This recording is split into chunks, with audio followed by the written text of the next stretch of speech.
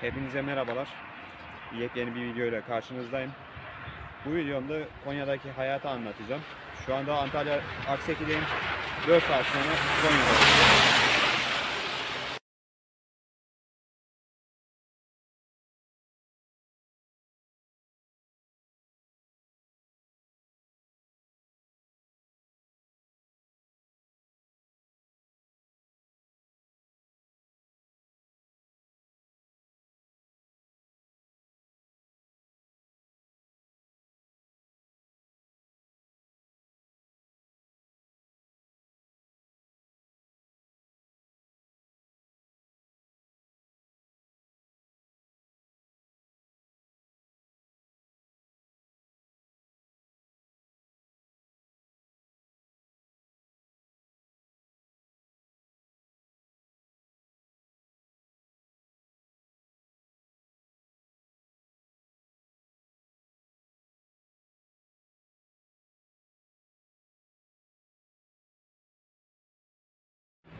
4 saat süre yolculuğumuzun ardından nihayetinde Konya Otogarı'na geldik.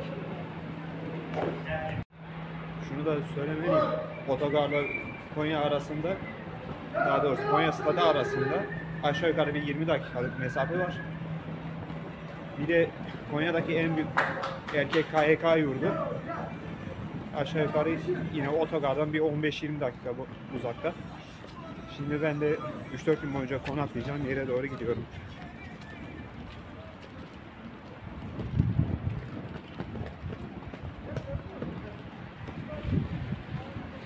Konaklayacağım yer de buradan aşağı yukarı yine tramvayla falan bir yarım saat, bir saat sürecek. Daha sonra videomuza yine kaldığımız yerden devam edeceğiz. Birazdan tramvaya bineceğim ben de.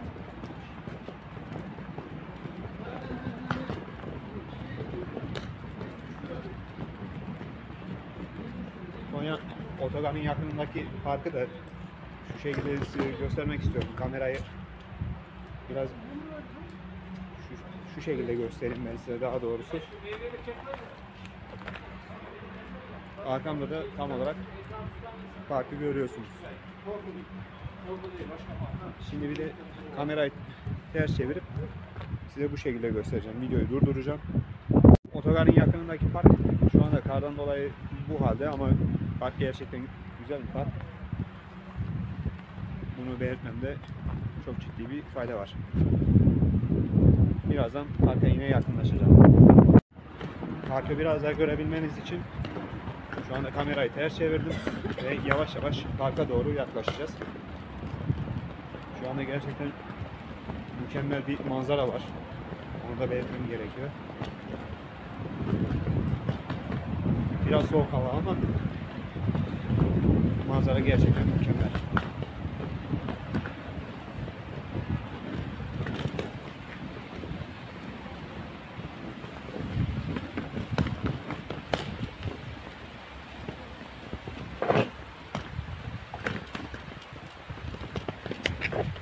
Evet, parkı size biraz daha yakından bu şekilde göstermek istiyorum.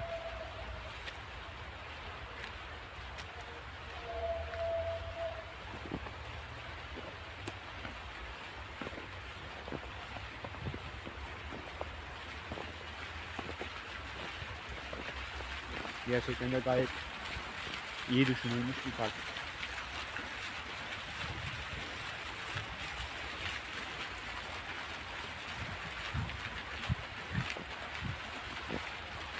Bu videoda ağırlık olarak şunda duracağız. Konya'da hayat nasıl? Yani videomuzun içeriği bu şekilde olacak. Onu baştan size söyleyeyim.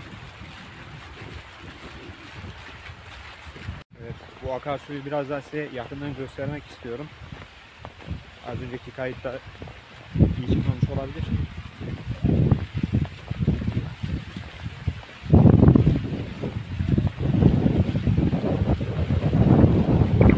Hava gerçekten çok soğuk bir şekilde şu an telefon tutuyorum ama diğer takipçiler için her şey yapmaya razı.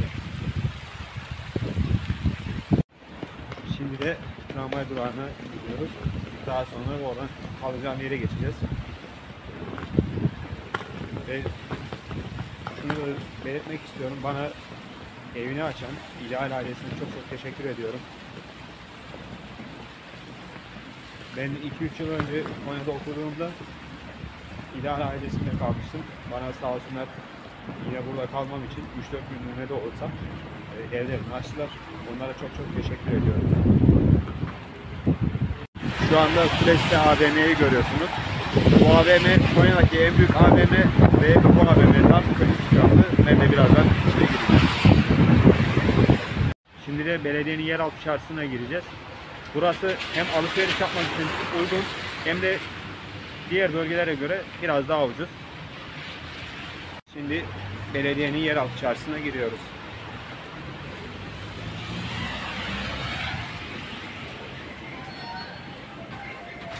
Yeraltı çarşısından çıkınca bizim Konya'daki en büyük camilerden bir tanesi olan Hacı Veysade Camii karşımızda.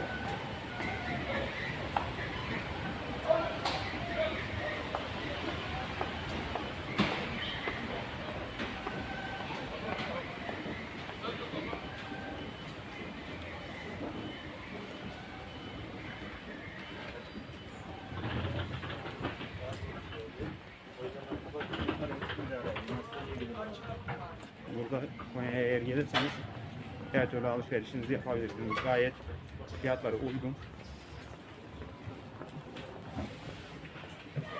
Şimdi yavaş yavaş çarşıdan çıkıyoruz.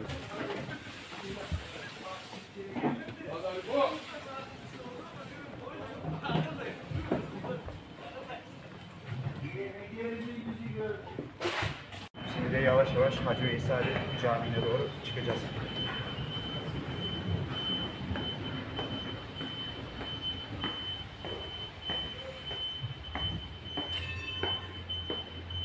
Hava şu an baya baya soğuk o yüzden kamerayı tutmakta zorlanıyorum. An itibariyle çıkmış bulunmaktayız.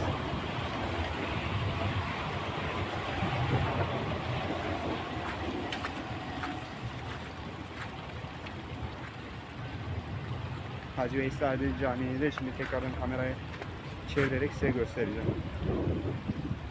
İtibariyle Hacı Veysade Camii'ni görüyorsunuz. Konya'daki en büyük camilerden bir tanesi. Yapandan yaptırandan Allah razı olsun diyoruz. Caminin hemen yan tarafında ise Konya İl Müftülüğü var. Belediyeye geçtikten sonra karşımıza Kültür Park çıkıyor. Şimdi biz sizle birlikte yavaş yavaş Kültür Park'a doğru gidiyoruz. Burası yine Konya açısından önemli bir yer. Ve Konya hakkında hani şunu da söylemem gerekiyor. E, mimarisiyle, e, şehir planlamasıyla gerçekten çok hoş bir şehir. Şehir planlaması gayet güzel yapılmış.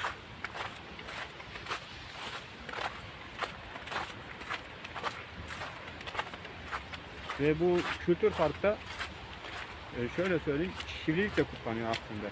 Şivrilik nedir diye soracak olursanız, bu aslında Konya'ya has bir bayram.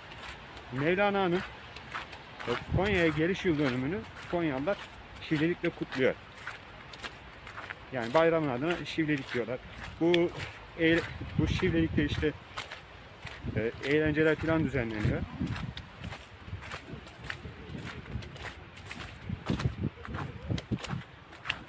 Şimdi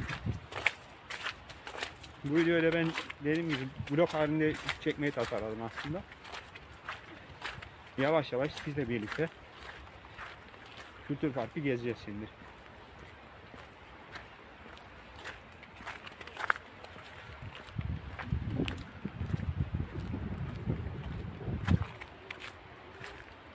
Kültür Park dediğim gibi gerçekten çok hoş bir yer. Hemen Hacı Veysali Camii'nin arkasında.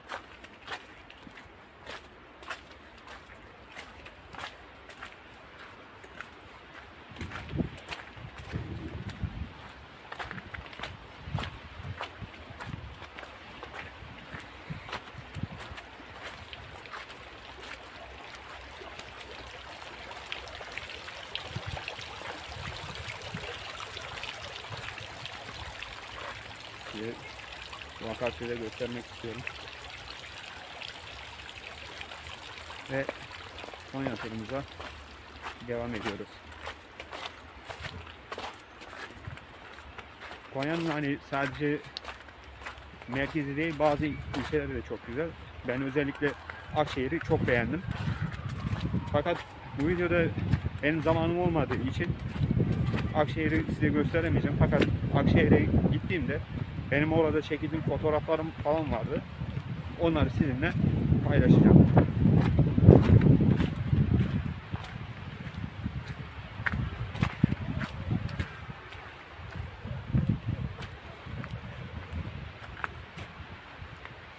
Konya'yı gezip görmeye şimdi devam ediyoruz.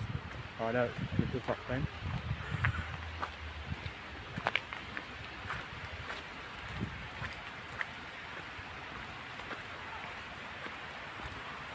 Burada çok hoş bir park yine bizi karşılıyor. Ben şimdi birazdan kamerayı döndürüp şey yapacağım. Tekrar göstereceğim size daha net bir şekilde.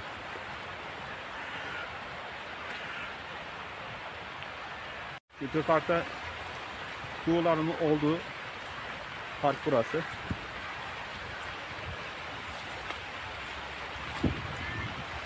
Halk burada kuğuları falan besliyor. Genelde besliyorlar.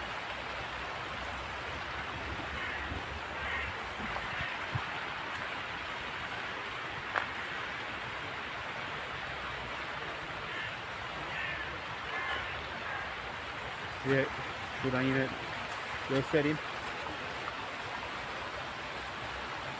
Size yine bu parkı biraz daha yakından göstermek istiyorum. Parkın hemen arka tarafındaki binada belediyemizin kütüphanesi. O kütüphanede de boş yer bulamıyorsunuz. Ben de daha önce bu durumu yaşamıştım. Bu tarafını da size göstermek istiyorum.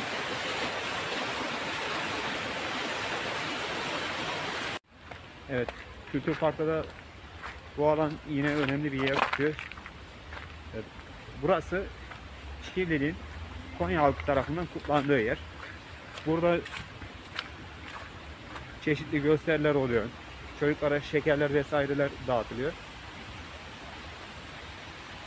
Ve şöyle söyleyeyim, Şivli'ye katılım gerçekten çok yoğun oluyor. Size şu bölgeyi de göstereyim. Konya denince aklımıza en meşhur yemeğe geliyor. Tabii ki de etli ekmek. Eğer Konya'ya uğrarsanız etli ekmek yemeği kesinlikle unutmayın.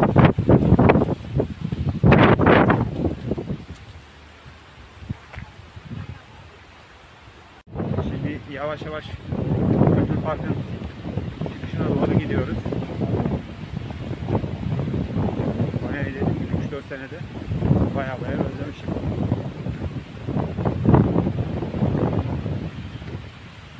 Yani kamerayı tutmakta şu an zorlanıyorum. Gerçekten çok soğuk.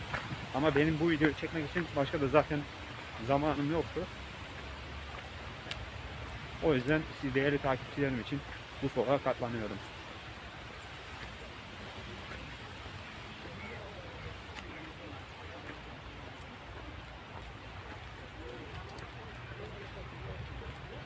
Konya'nın dediğim gibi en önemli yerlerinden bir tanesi burası.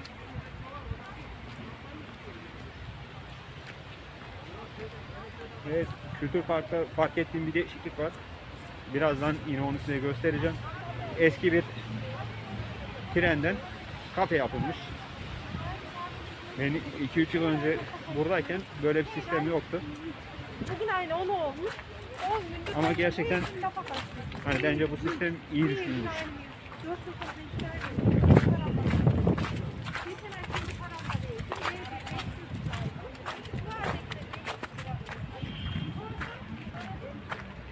Daha sonra da Zafer Meydanı'na gideceğiz. Orada bazı önemli bölgeler var. Size orayı da göstereceğim. Ama en önemli yer Alaaddin Tepesi diyebilirim. Çünkü Alaaddin Tepesi özellikle ilk bazı dönemlerinde gençlerin uğrak noktası oluyor.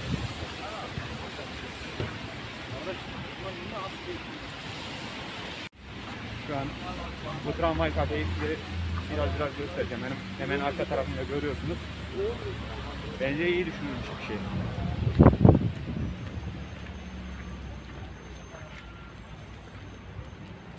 Ve şimdi yavaş yavaş Kılıç Arslan Parkı'na doğru gidiyoruz.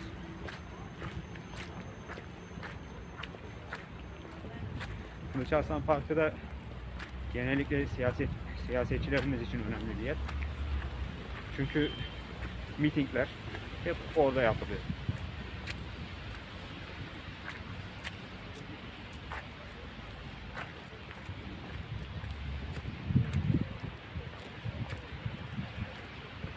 Daha sonra da Zafer Meydanı'na geçeceğiz. İşte bu gördüğünüz alanda Kılıç Arslan Parkı. Siyasetçiler genellikle mitingi Konya'da burada yapıyorlar. Parkın hemen arka tarafında da Payitaht Müzesi var.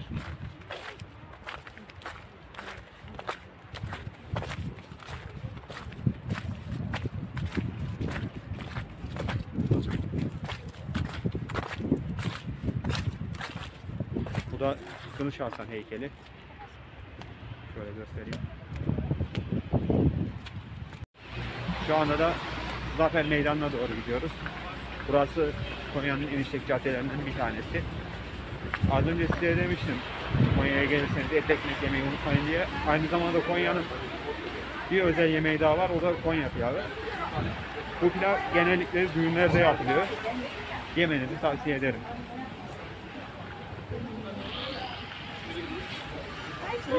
Buranın hemen karşı tarafında ise Alaaddin Tepesi var.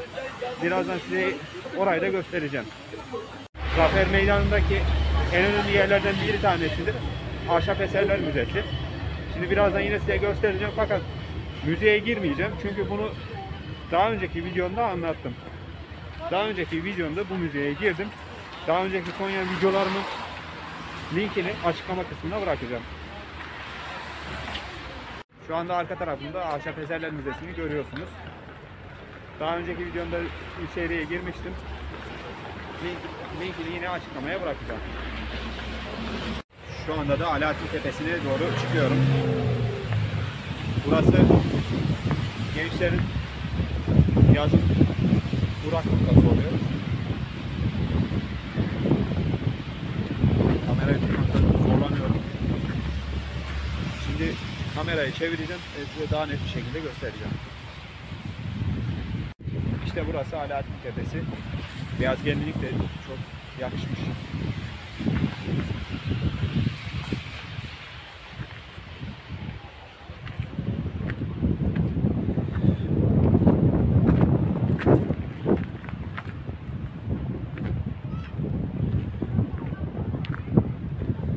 Şimdi biraz daha yukarıya doğru çıkıyoruz. Şuradaki bankları da size göstermek istiyorum.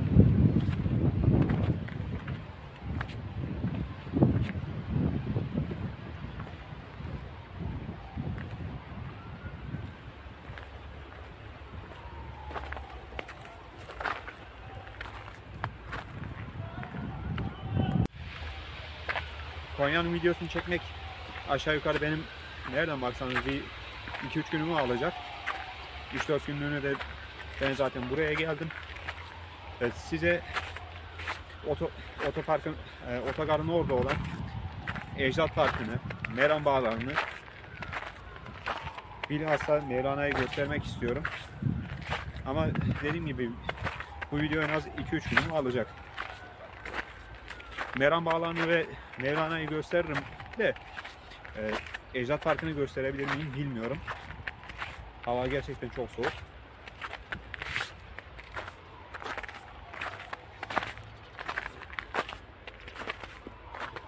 Yine size biraz daha yakından göstereyim.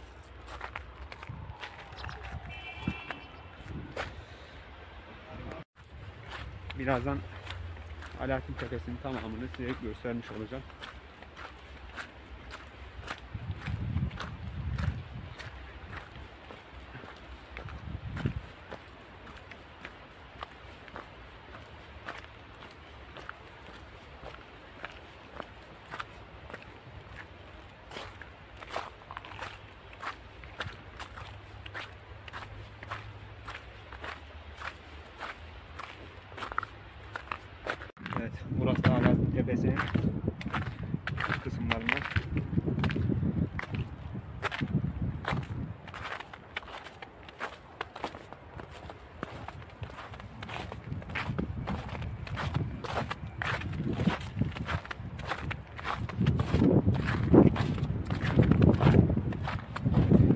Yarın da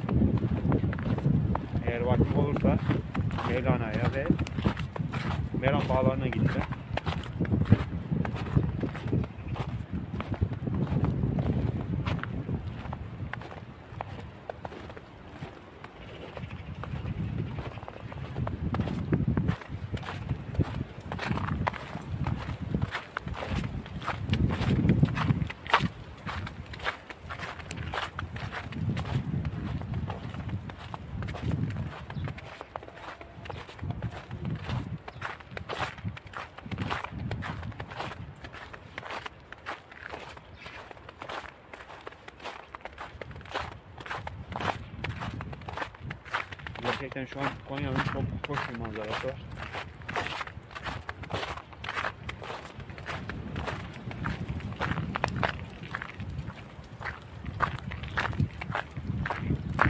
Ama çok soğuk. Gerçekten tabiri caizse buz kesti.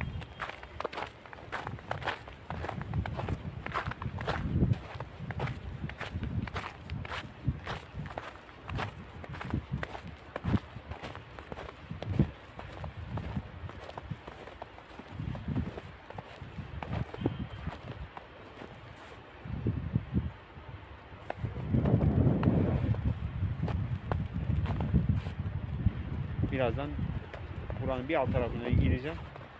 Daha sonra da Alaaddin Tepesi gezisi bitmiş olacak. Şimdi burayı da gösterdikten sonra Alaaddin Tepesi gezimiz bitmiş olacak. Ben de daha sonra konaklayacağım yere gideceğim. Hava gerçekten çok soğuk. Şu an video çekerken parmaklarımı hissetmiyorum. Bu arada ezanı okunuyor azizallah.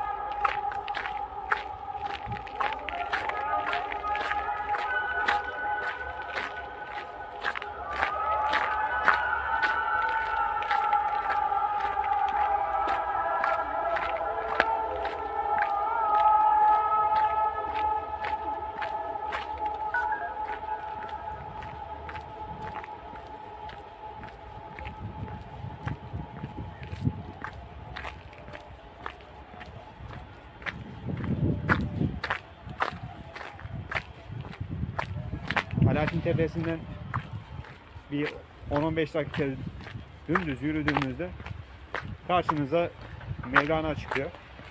Bunun da bilgisini burada vermiş olayım.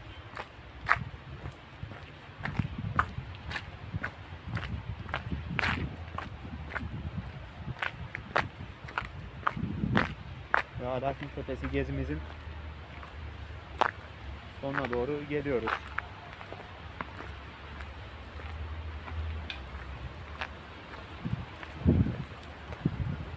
Burada da Şehitler Ahmet'i var. Hemen Alaaddin Tepesi'nin çıkışında. Şimdi Alaaddin Tepesi gezimizi bitiriyoruz. Burada merdivenlerden iniyorum o yüzden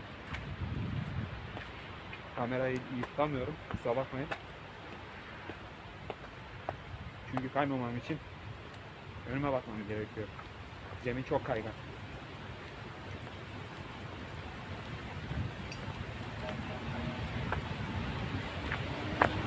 Ve Şehitler Tepesi'nin pardon, Şehitler Ahmet'in aşağı tarafında çok güzel bir manzara bizi bekleyecek.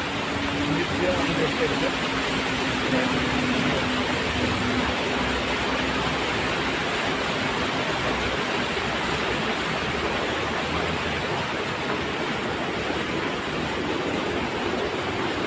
O manzarayı size bu şekilde göstermek istiyorum. Şehitler Ahmet'in hemen aşağı tarafında. Şehitler Anıtı'nın hemen aşağı tarafında bizi böyle bir manzara bekliyor. Gerçekten çok hoş bir manzara. Ve böylece Alaaddin Tepesi gezimiz bitiyor.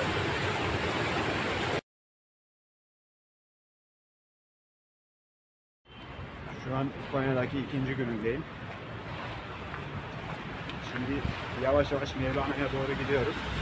Mevlana'ya gitmenin iki tane yolu var.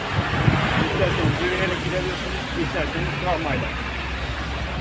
Tramvayla gittiğinizde adliye tramvayına binmek gerekiyor. Ve şu an yürüyerek gidiyorum. Alaaddin Tepesi'nden aşağı yukarı bir yürüyerek 10-15 dakika uzaklıkta. Bu videoyu biraz da akşam vakti çekiyorum.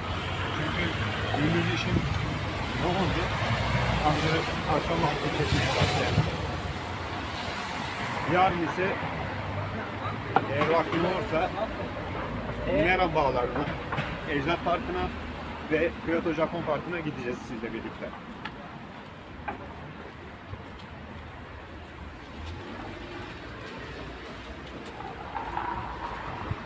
Birazdan da bizi Tarihi Bedesten Çarşısı karşılayacak.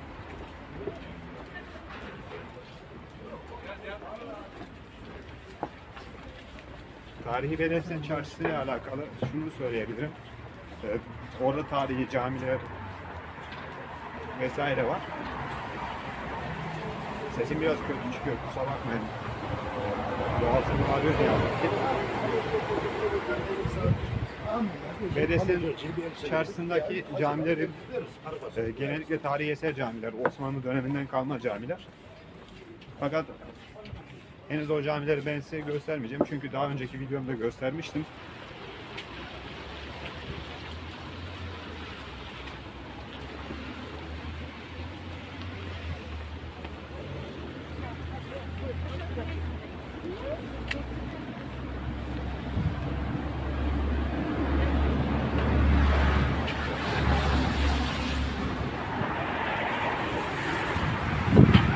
Bedesten çarşısından bize bizi Kayalı Park karşılıyor. Söylemeyi unuttum az önce.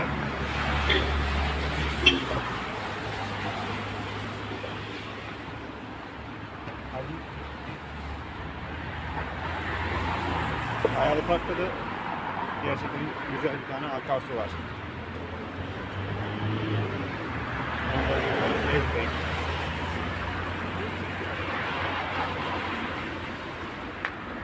Kayalı Park'ın hemen arka tarafında da tarihi Bedesten Çarşısı var.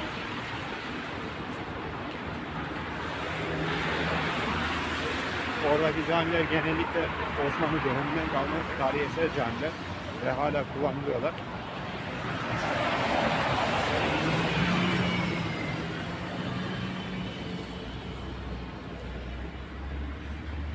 Şimdi yavaş yavaş akarsuya doğru gidiyorum.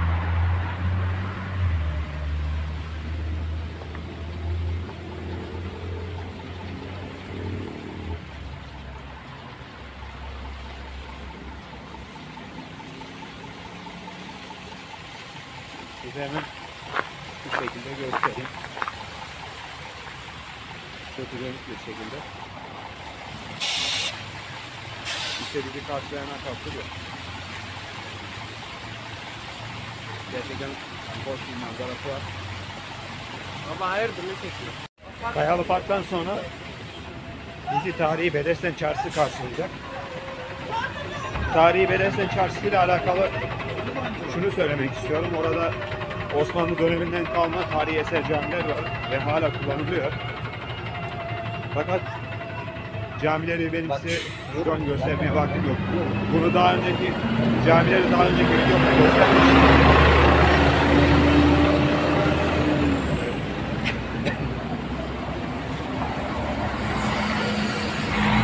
Bedesten Çarşı'nın hemen yan tarafında da Konya Valiliği var.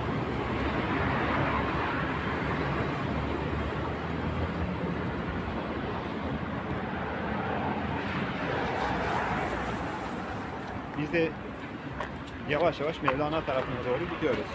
Mevlana Alaaddin Tepesi'nden aşağı yukarı yürüyerek bir 10-15 dakika mesafede.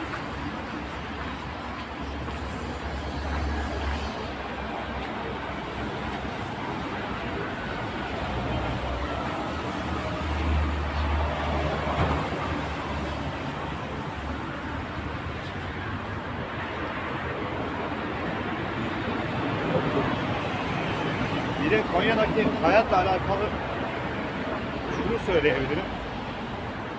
Burada hiç döviz bürosu yok. Yani bir dolarınız, euronuz yani herhangi bir yabancı paranız olduğu zaman burada döviz bürosu yok. Ha şimdi şunu soracaksınız. Ben yabancı paramı nerede bozdurabilirim? Bedesten çarşısındaki sarraflarda yani kuyumcularda ve bankalarda dövizlerinizi bozdurabilirsiniz.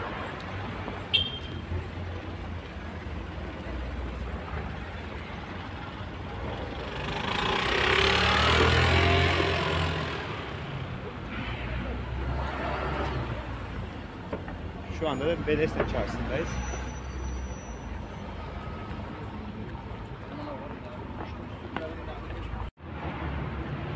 Burada da dediğim gibi sarraflar var. Tarihi camiler var.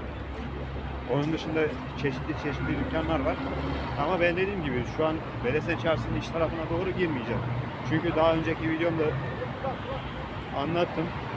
Bedesten Çarşısı'nın iç tarafına camilere girdik.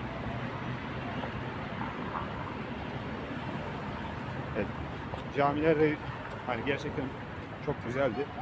Yapandan yaptırandan Allah razı olsun yine. Ve aşağı yukarı bir 4-5 dakika sonra da Mevlana'da olacağız.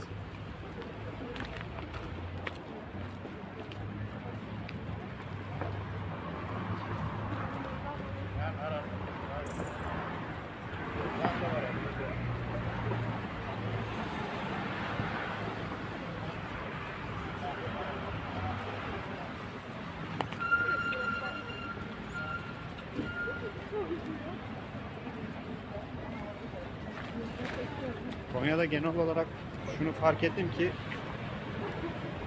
ben burada aşağı yukarı 3 yıl kadar 3 yıl üniversite okudum. 3 yıl sonra tekrardan buraya geldim. Gelmek nasip oldu. Hiçbir şey bıraktığım gibi değil. Yani gerçekten çok değişmiş.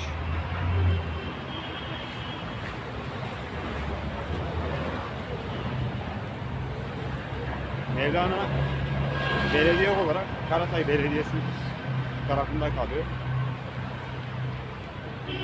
İsterseniz Adliye Tramvayı'na binip Mevlana durağında inerek yine Mevlana'ya gidebilirsiniz.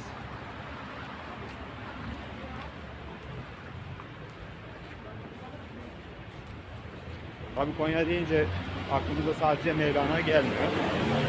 Şu anda da Mevlana'ya doğru gidiyoruz. Tam karşımızda kalacak Mevlana.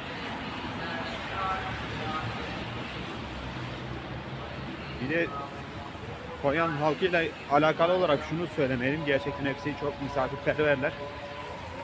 Az önce de gençler ne yapıyorsun falan filan diye sordular yani sohbet muhabbet ettik.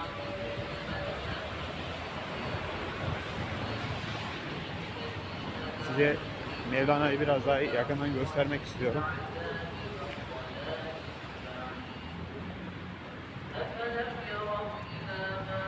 Şu anda da camide namaz kılıyorlar. Allah herkesin kıldığı namazı kabul etsin.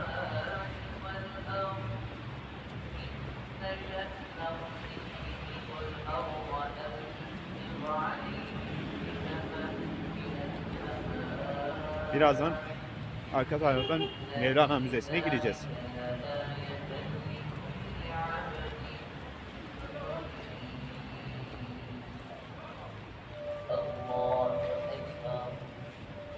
Bir de Mevlana ile alakalı şunu söylemem gerekiyor. Buraya Mevlana, Mevlana'yı ziyarete birçok ülkeden insanlar geliyor. Çinliler, Japonlar, Koreliler.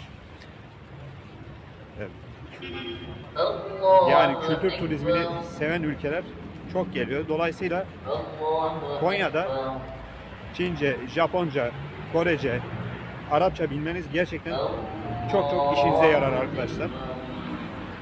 Bunu da burada belirtmekte fayda var.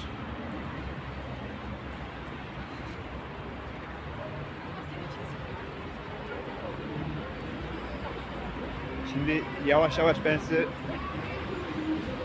müzenin giriş tarafını göstereceğim. Fakat müzeye girmeyeceğiz çünkü Daha önceki videomda müzeye girdim. Mevlana'ya anlattım. Sadece genel olarak göstereceğim. E, girişler de ücretsiz. Yani buraya girerken herhangi bir ücret ödemenize gerek yok.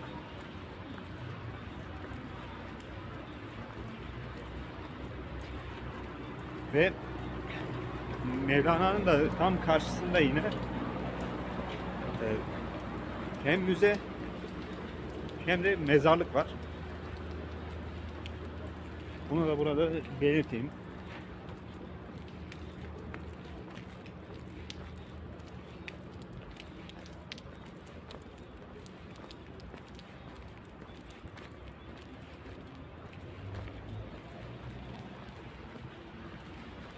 Bir 5 dakika 5 dakika sonra Mevlana'nın giriş kısmına geleceğiz. Mevlana'ya girişi oradan yapılıyor. Eğer Konya'ya geldiyseniz Mevlana Hazretlerini, Hazretlerini ve Nasrettin Hoca'yı mutlaka ziyaret edin. Ben Akşehir'e gittiğimde Nasrettin Hoca'yı ziyaret etmiştim. Ve ilginçtir. Türbesinin tam önünde dünyanın ortası var.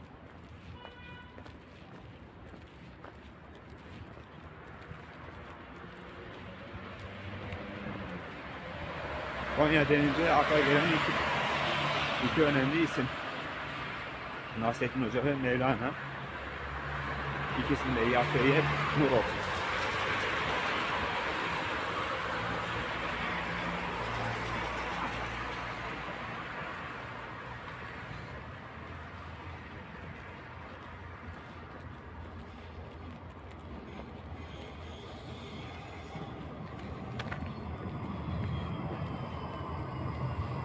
Mevlana'yı eğer ziyaret etmek istiyorsanız belli saatler aralığında gelmeniz gerekiyor. Çünkü belli bir saatten sonra müzeye giriş kapalı oluyor.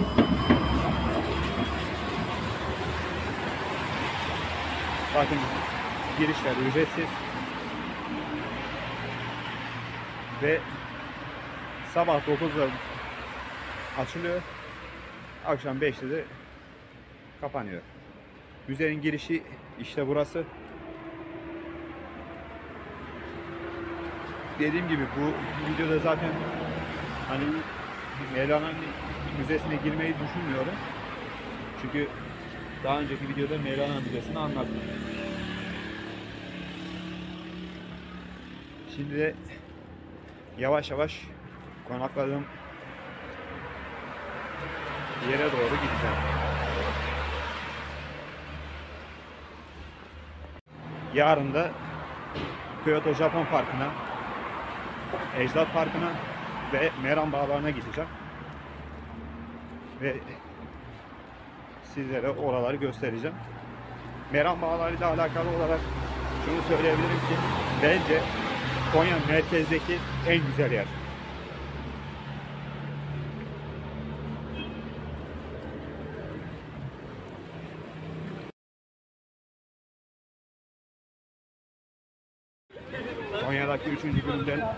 Hepinize günaydın. Şu an Zafer Meydanı'ndayız. Ve birazdan Kyoto Japon Parkı'na gideceğiz. Kyoto Japon Parkı buradan aşağı yukarı tramvayla bir yarım saat uzaklıkta. Aziz Allah.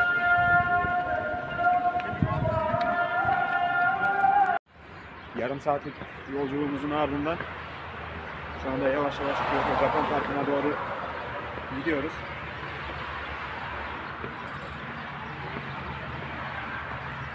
Şu anda bu üst geçidi geçtikten bir 5-10 dakika sonra Kyoto Japon Parkı'nda olacağız.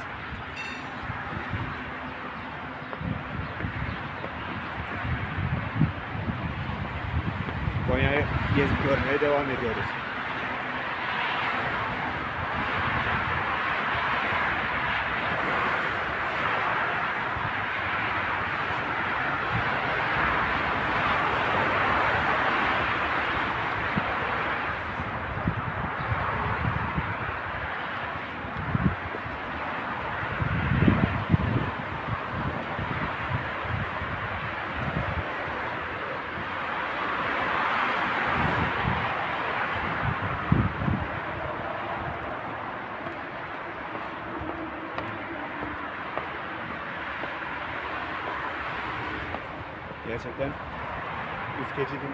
Tasarımı çok hoş.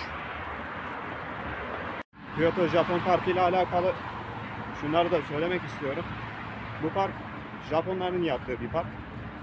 Konya Belediyesi Japonya'nın Kyoto Belediyesi ile kardeşlik anlaşması imzaladı. Ve bu anlaşma çerçevesinde Kyoto Belediyesi buraya Japon Parkı'nı yaptı. Japon Parkı dolayısıyla Japon kültürünü yansıtıyor. Birazdan sizle birlikte Japon Parkı'na gireceğiz. Gerçekten çok hoş bir manzarası var. Konya'ya yolunuz düştüğünde yine uğramayı unutmayın.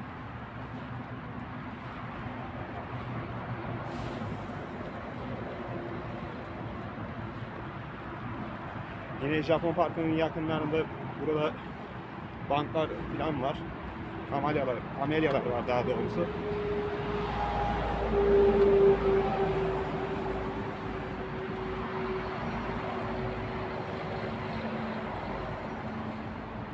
Japon Parkı'ndan sonraki durağımız da Ecdat Parkı olacak.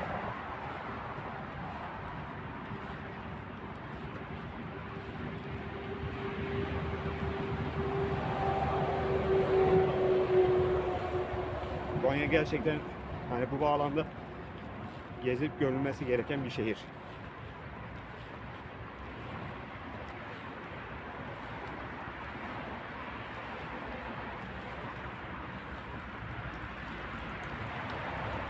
Birazdan Japon Parkı'na giriş yapacağız.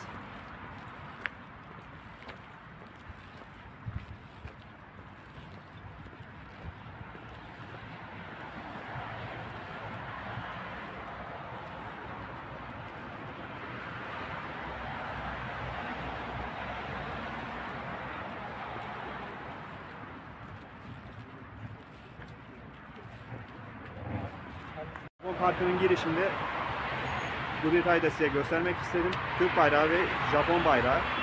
Onun dışında Selçuklu bayrağı yan yana. Japon Parkı'nın girişi de bu şekilde. Size yakından göstereyim. Hadi hep birlikte içeriye girelim.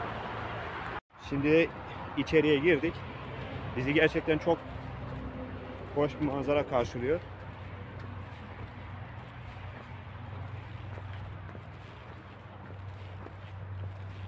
Burası Japon kültürünü yansıtıyor.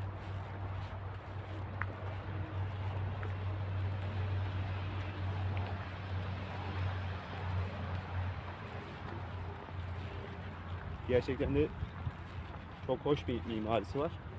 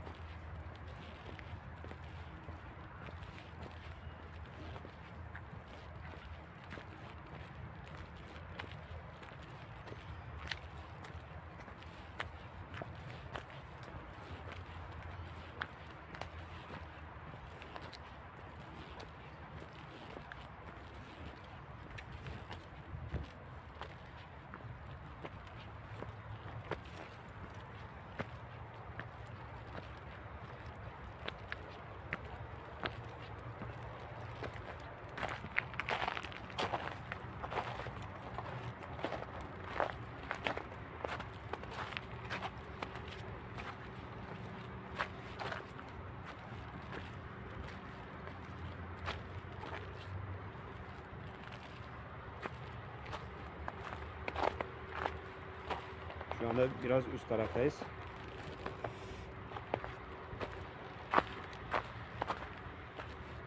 Şimdi Japon Parkı'nın daha güzel yerlerine doğru gideceğiz.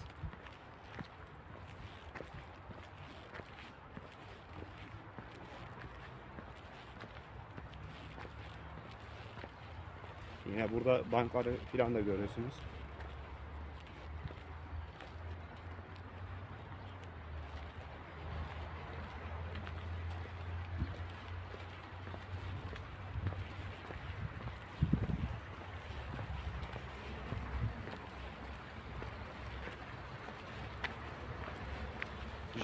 Kültürünü gerçekten iyi yansıtıyor.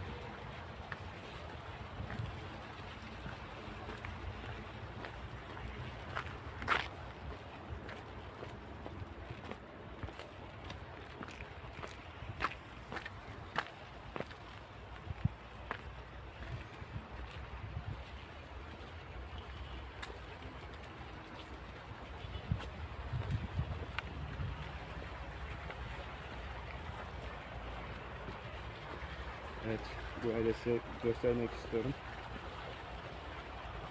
Harika bir manzarası var gerçekten.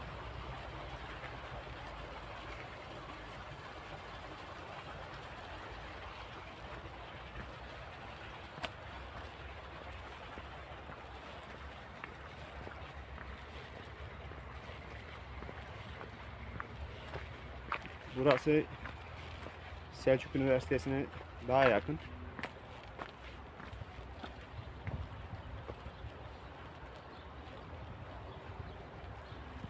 Bir de Selçuk Üniversitesi demişken Konya'daki eğitim hakkında da biraz bilgi vereyim. Selçuk Üniversitesi hem Konya'nın en iyi üniversitesi hem de Türkiye'nin en iyi üniversitelerinden bir tanesi. Dolayısıyla gerçekten çok hoş bir mimarisi de var buranın.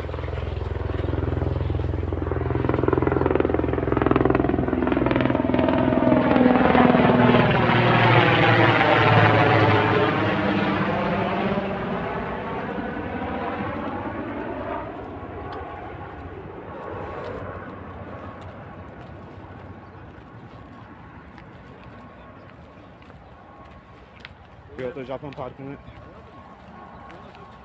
gezmeye devam ediyoruz.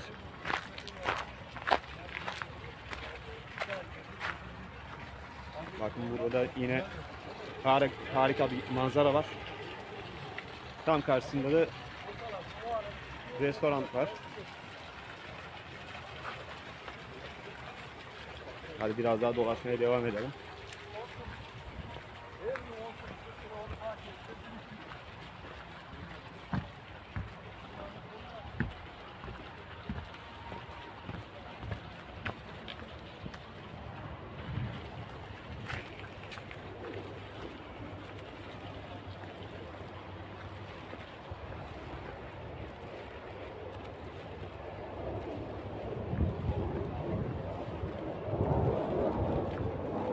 Gerçekten Konya'da hani çok değişik bir mimari olmuş. Onu belirtmek istiyorum. Yine Konya'ya gelirseniz Kyoto Japon Parkı'nı ziyaret etmeyi unutmayın.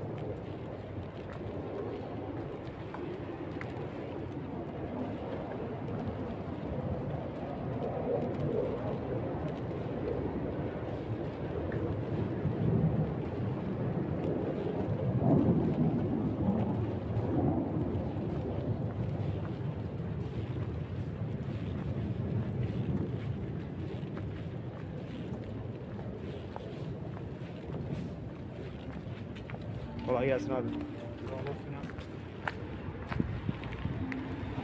Burası da Kyoto Japon Parkı'nın çıkışı.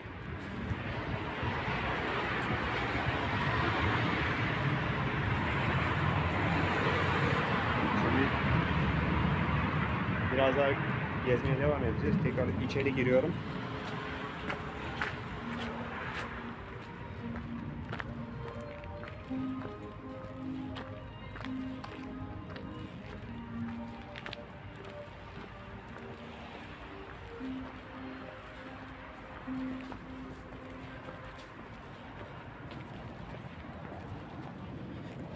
Arada az önce Konya'da eğitimle alakalı e, bilgi verirken biraz dilim sürçtü. Bunun için kusura bakmayın.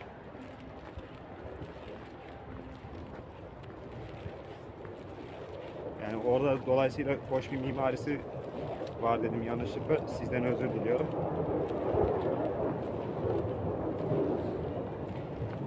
Konya'da hava şu an biraz soğuk. Ve benim de boğazım ağrıyor. Dolayısıyla biraz zor konuşuyorum.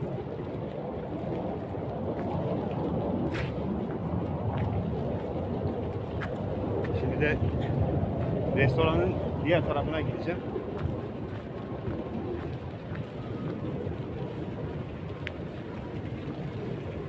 Kamerayı gerçekten tutmakta zorlanıyorum. Çünkü hava soğuk.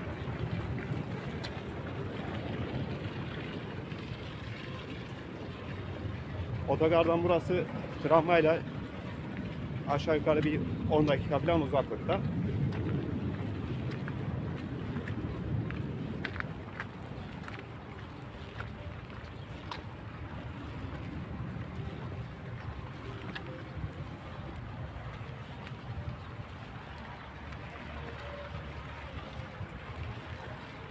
Buradan da restorana giriyorsunuz. İlgimi çeken şeylerden bir tanesi de bu çeşme oldu. Üst tarafında Japonca bir yazı var. Mimarisi de biraz değişik bir mimari. Ama hoş bir tasarım olmuş. Çıkış yaparken gözüme takılan en, en ilginç şeylerden bir tanesi de bu. Bu gördüğünüz lavabo.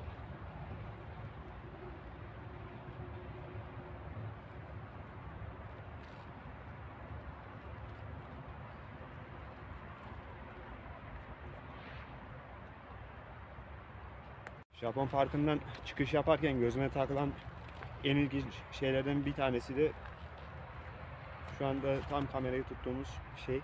Açıkçası ne olduğunu bilmiyorum. Ama yine ilginç bir mimari olmuş gerçekten.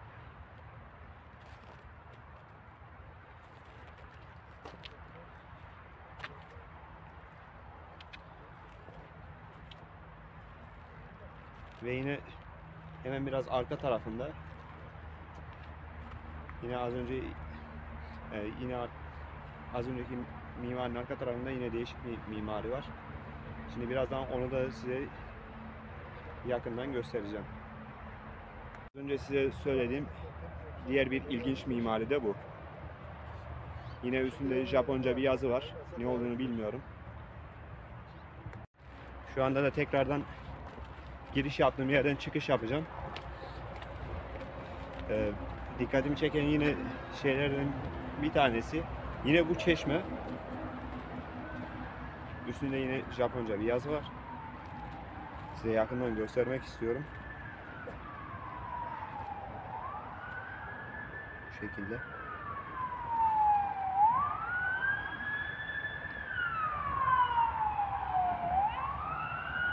Az önceki çeşmeye hiç benzemiyor. Bu da yine değişik bir tasarım olmuş Az önce girişte göstermeyi unutmuştum. Kusura bakmayın. Hemen giriş tarafında burada bir tane bilgilendirme panosu var. Ahşap bir pano. Yapım yılı 2010 yılı. Yani 2010 yılında Japon Parkı yapılmış. Biraz daha size bu şekilde yakından göstermek istiyorum.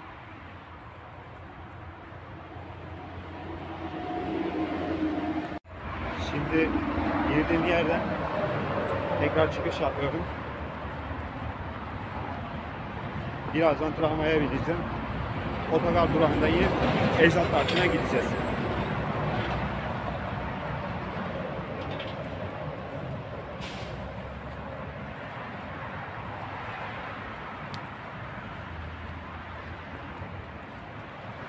Ecdat Parkı'ndan sonra da Meram Bağları'na gideceğiz. Meram Bağları yani bence Konya merkezdeki en güzel yer. Daha sonra da yine size bir tane kitap tanıtacağım.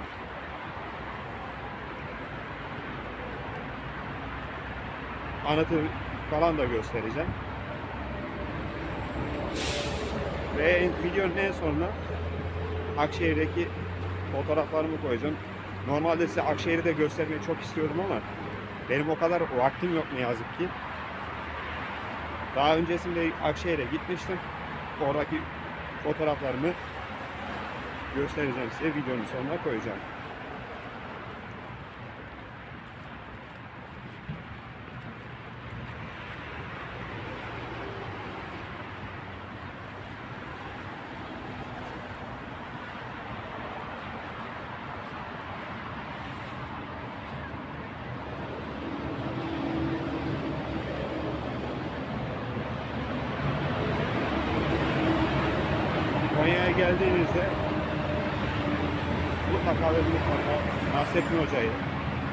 Mevlana'yı ziyaret etmeyi unutmayın.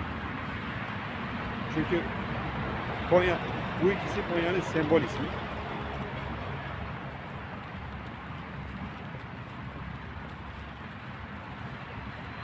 Nasrettin Hoca'nın da türbesine gitmiştim. Türbenin hemen ön tarafında e, dünyanın ortası var. Nasrettin Hoca'nın bastonuyla dünyanın ortasının burası diye vurduğu yer var. Ve Akşehir'le alakalı şunu da söylemek istiyorum. Orada hani Türkiye'nin ünlü sanatçılarının büstleri var. Nasrettin Hoca'nın fıkraları heykel olarak yapılmış. Mesela bir tane heykelde bindiği dalı kesiyor. Eşeğe ters biniyor. Öbür heykelde.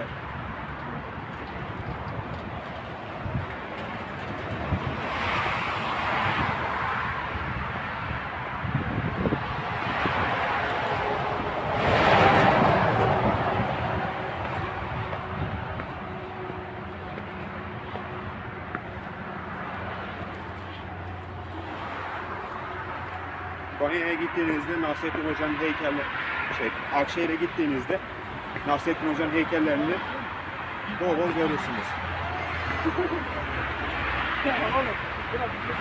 Yine Akşehir gerçekten güzel bir yer.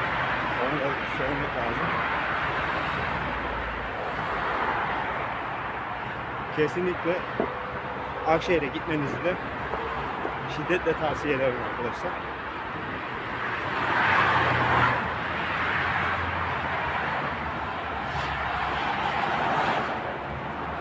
Ben yine oradaki fotoğraflarımı videonun sonuna ekleyeceğim.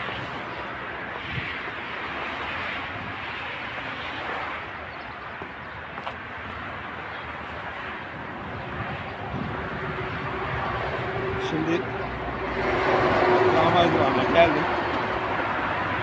Birazdan okullara gideceğim. Oradan sonra da Ecdat Parkı bizi karşılayacak.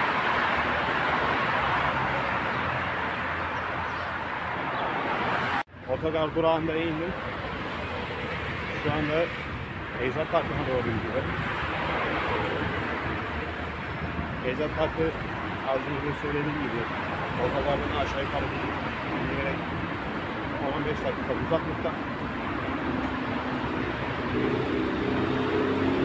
Orası da kesinlikle gezip görmeniz gereken bir yer. Şimdi ben de size göstereceğim. Daha sonra da Konya Spor'un stadyumunu göstermeyi planlıyorum.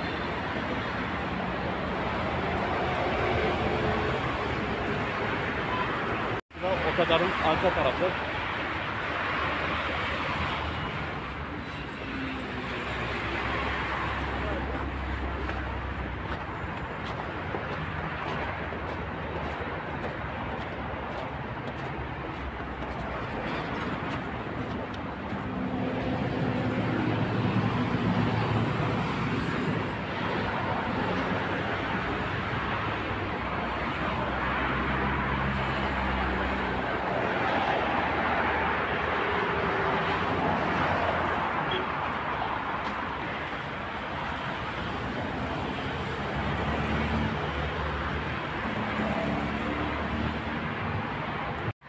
Otogardan bir 20 dakika yürüdükten sonra an itibariyle Ecdat Parkı'na geldik. Şimdi birazdan içeriye gireceğiz. Ecdat Parkı'nın girişi bu şekilde. Girişler yine ücretsiz.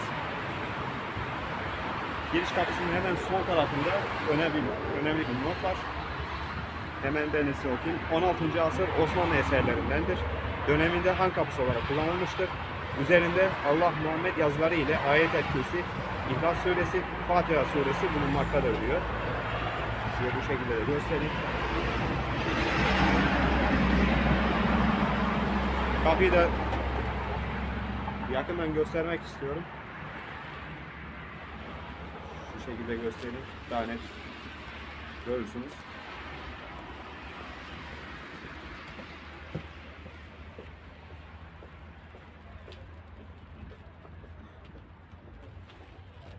Kapının hemen diğer tarafını da göstereyim.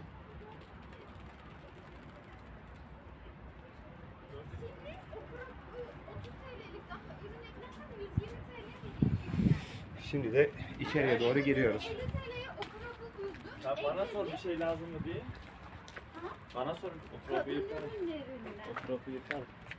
Burası da yine ilgimi çekti. Yine bir tarihi kapı var. Ve hemen yanında da bilgi notu var. 15. asır Osmanlı eserlerindendir. Bey konağı kapısıdır. Üzerinde çıtarıkari sanatıyla Selçuklu geometrik şekilleri işlenmiştir diyor.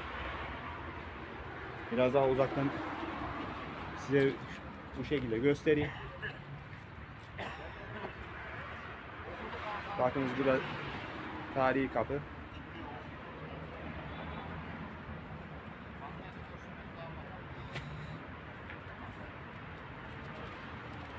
Ve şimdi de içeri doğru giriyoruz.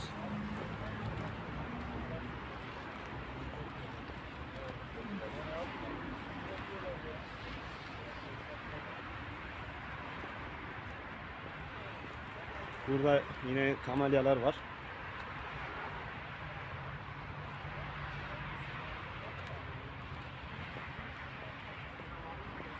Ecdat Parkı da yine Konya'nın önemli bölgelerinden.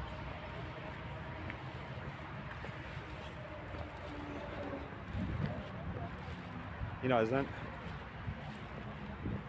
tekrardan başka bir bölüme doğru gireceğim.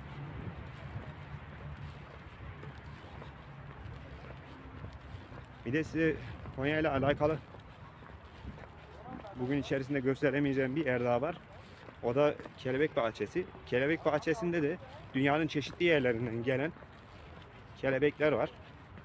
Onu ne yazık ki bugün gösteremeyeceğim ama daha önceki videomda çekmiştim. Linkini açıklama kısmına koyacağım. Botanik Bahçesi de gerçekten yine görülmesi gereken yerlerden bir tanesi.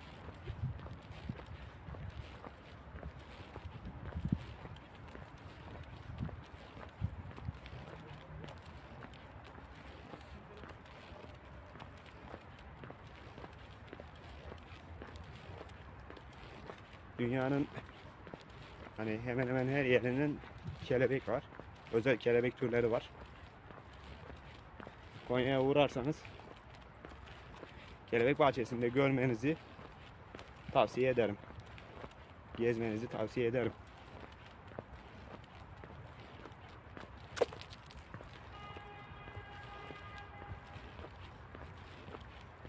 Burada yine önemli bir yapı var sanırım. Şimdi gidip ne olduğuna bir bakacağım.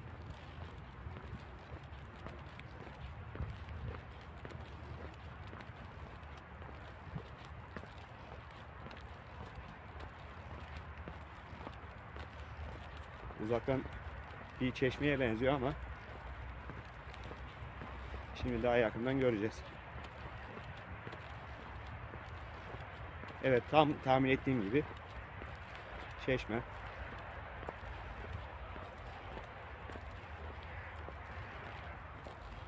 Aslında çeşme de saymaz tam olarak da şu şekilde yine yakından göstereyim. Ne olduğunu ne olduğu hakkında bir fikrim yok. Bir bilgi notu var mı? Şimdi ona bakacağım.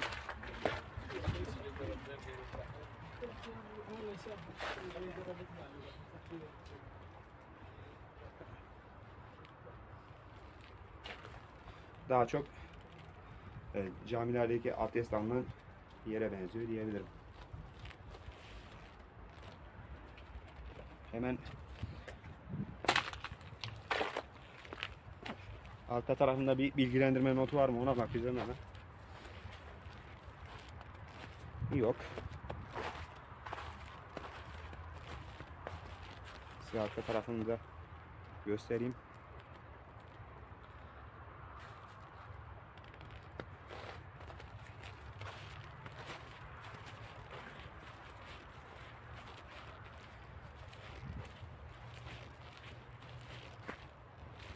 De size bu gösterdiğim yerin iç tarafına doğru gireceğiz.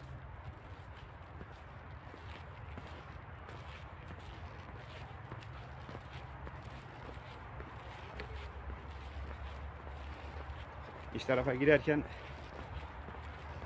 bir tane mancınık var. Onu da size göstereceğim şimdi.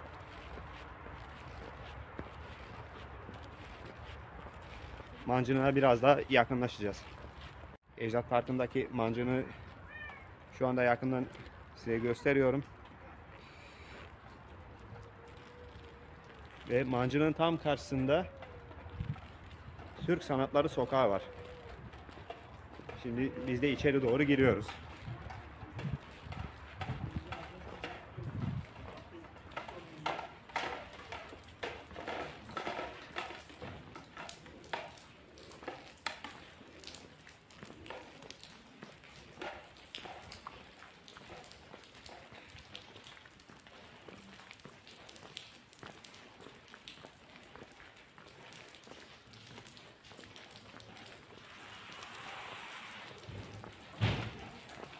Soğuktan dolayı kamerayı iyi tutamıyorum. Elim titriyor.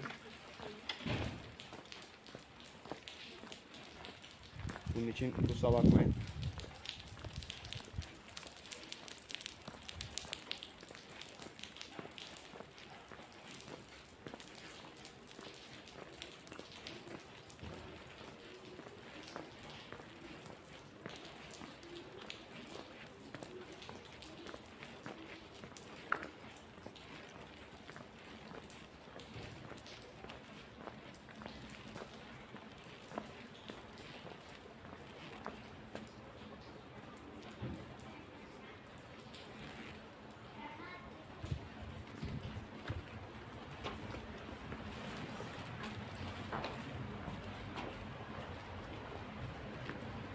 Burada yine gerçekten harika bir manzara var.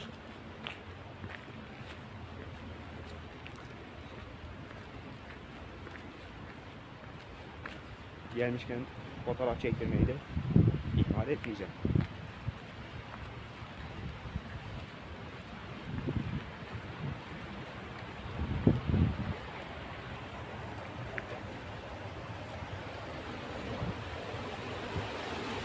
Bunları göstermek istiyorum. Burada da bir tane fayton var. Ben daha az önce fark ettim. Size de onu şu şekilde göstereceğim.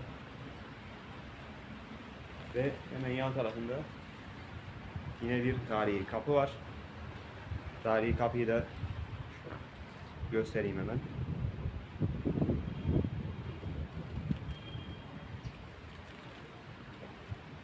Bu da kapının diğer tarafı. Ve bir bilgilendirme notu var. 18. asır Osmanlı eserlerindendir. Döneminde şifahane kapısı olarak kullanılmıştır.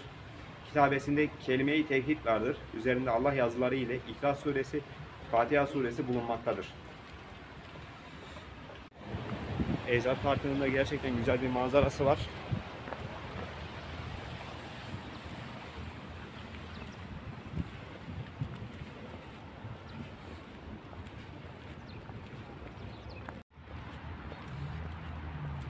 Ecdat Parkı'nı dolaşmaya devam ediyoruz kaldığımız yerden.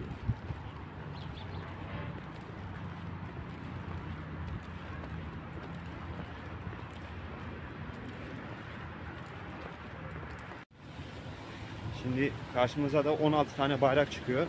Bu 16 bayrak 16 büyük Türk devletini temsil ediyor.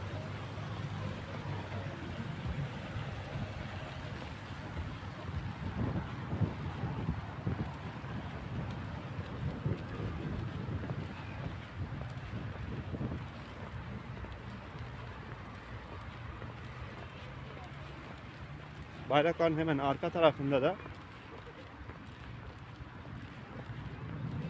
bir tane saat kulesi var.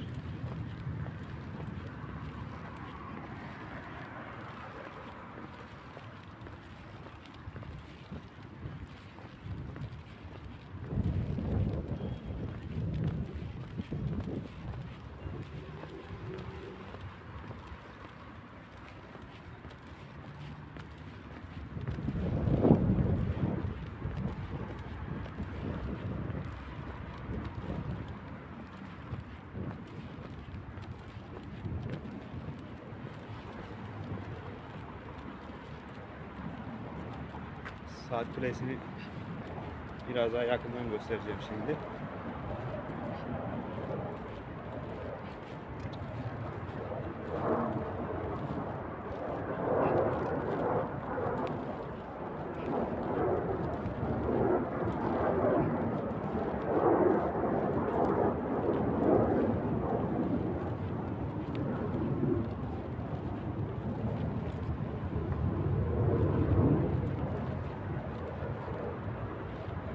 Şu anda yakından saat kulesini görüyorsunuz.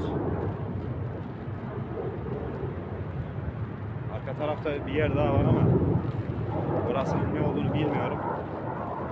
Şimdi gidip göreceğiz.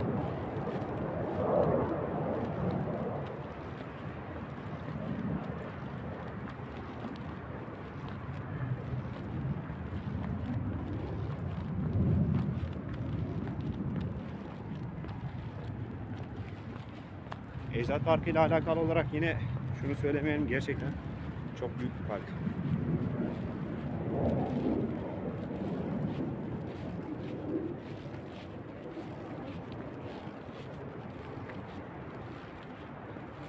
Yani videoyu çekerken açıkçası bu kadar uzun süreceğini tahmin etmiyordum.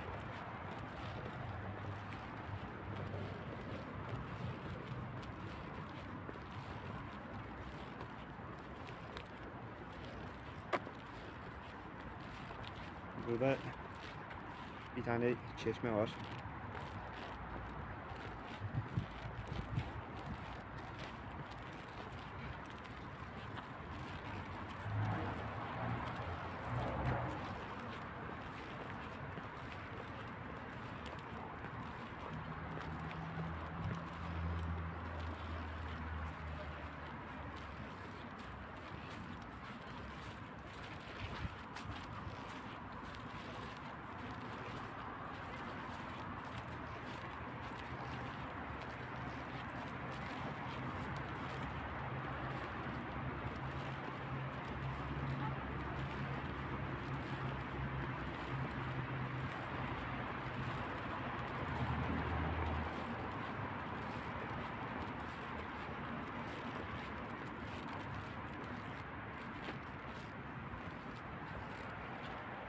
Burada Gök Medrese'yi görüyorsunuz. Selçuklu döneminde yapılmış bir medrese.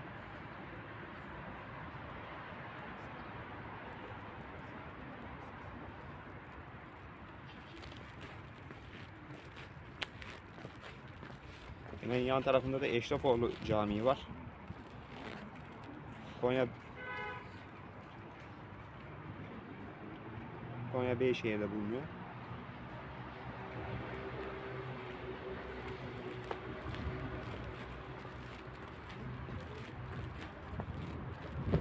İnce minareli medrese.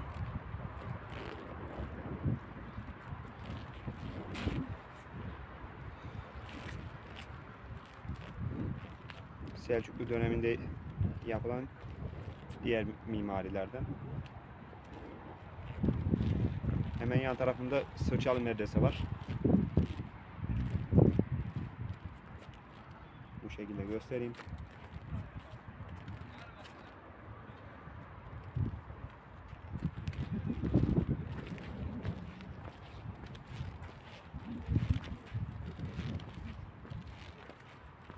Burada da Ulu Camii'yi görüyorsunuz. Yaptıran kişi de 1. Alaaddin Keykubat.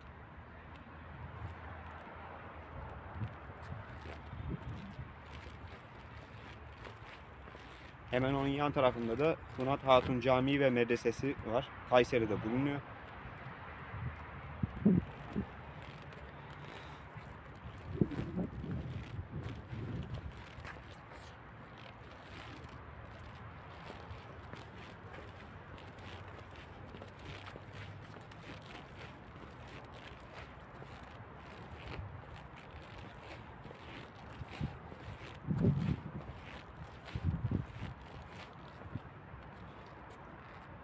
çifte minareli medreseyi görüyorsunuz. Erzurum'da bulunuyor.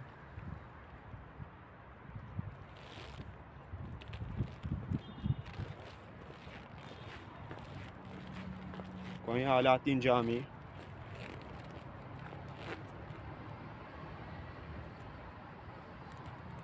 Selçuklu döneminde yapılmış yine.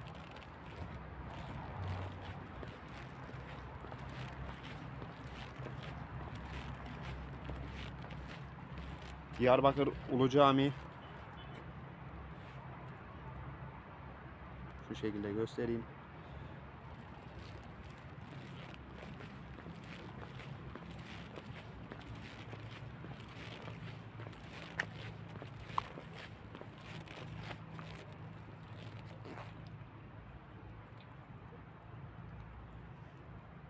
Ulu Cami yine Siirt. Büyük Selçuklu döneminde yapılmış 11 12. yü- yüzyıllarda.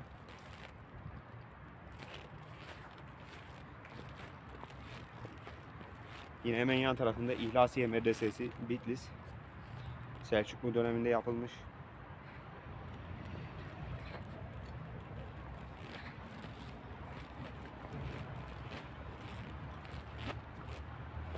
Burada benim memleketimde yapılan cami, e, cami görüyorsunuz. Yivli Minare Camii, Antalya.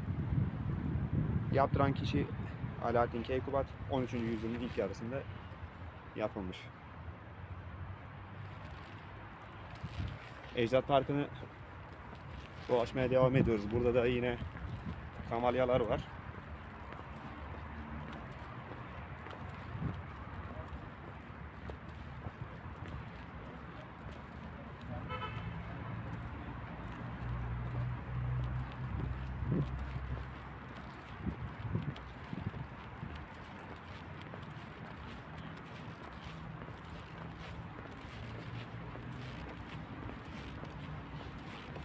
Yine bu tarafta az önce size göstermediğim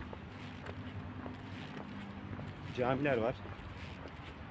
Yani onların projeleri.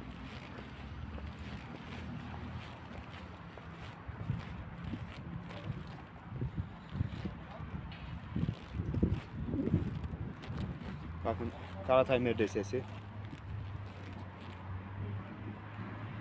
Hemen yan tarafında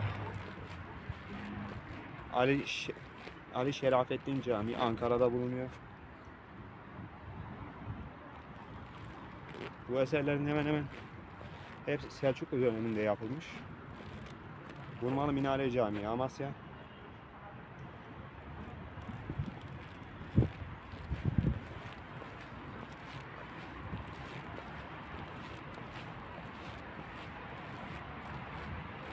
Sultanhanı Aksaray.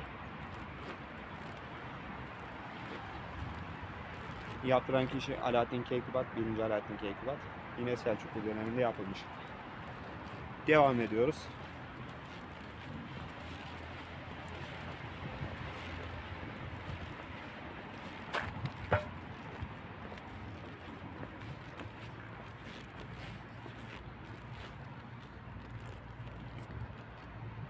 Gök Medresesi Sivas az önce başladığımız yere geldik. Şimdi bu yerin tam karşı tarafında yine göstermem gereken yerler var.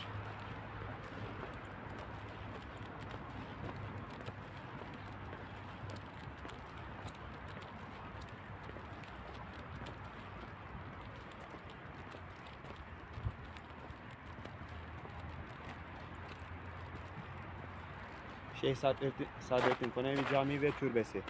Konya.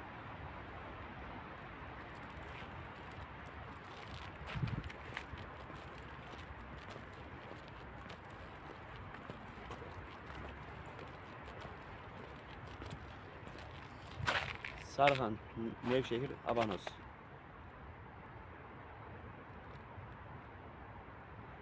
Han olarak kullan, kullanılmış.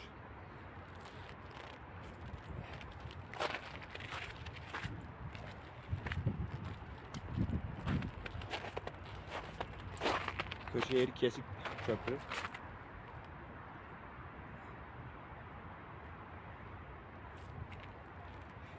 Hazır Kırşehir demişken Neşet Ertaş'ın memleketine selam olsun.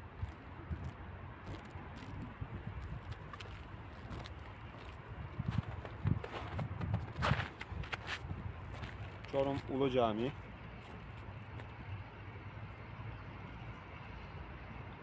Burada camilerin ve önemli yerlerin projelerini görüyorsunuz. Ve son olarak Mevlana Türbesi.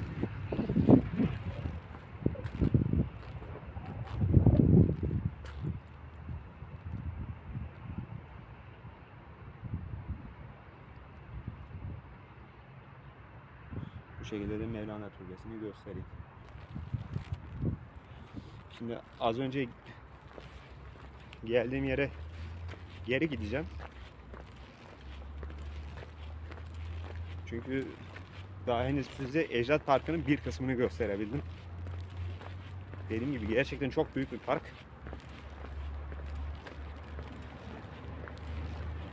Yani bu parktan çıktıktan sonra daha bir de Meram Bağları'na gitmem gerekiyor. Stadyumu sanırım göstermeye vaktim olmayacak.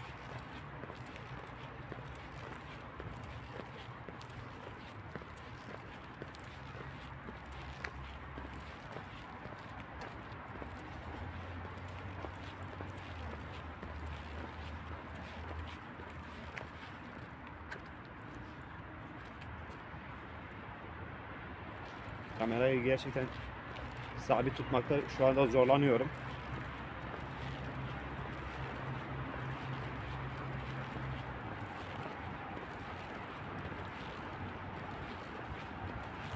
Şuradan hemen efendim. Tekrar saat kulesinin oraya doğru gidiyoruz.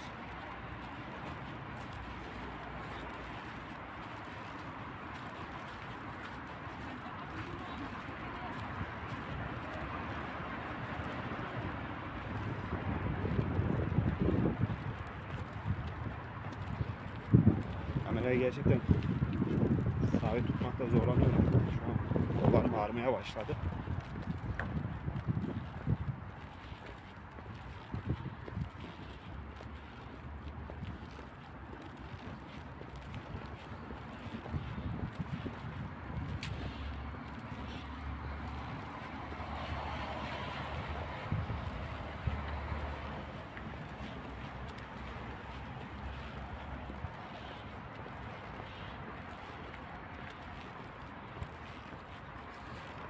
Birazdan 16 tane bayrağın olduğu bölüme doğru gideceğiz.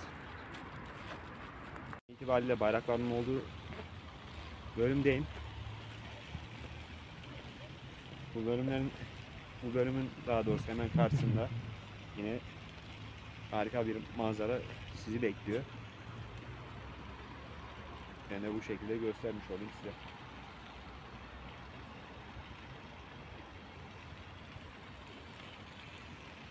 Ecdat Parkı'ndaki yolculuğumuza şimdi devam ediyoruz.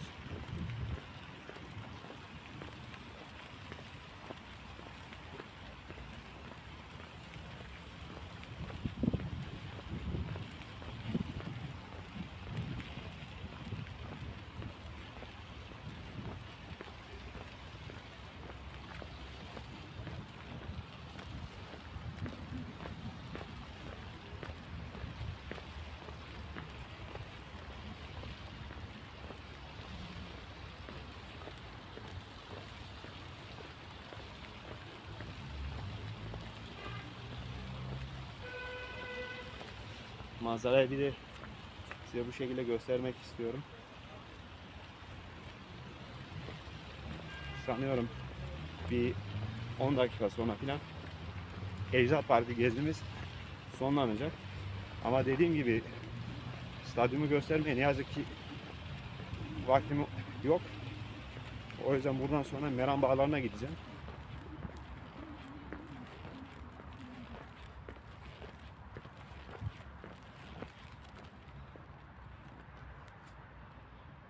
Gerçekten kolum çok ağrıdı.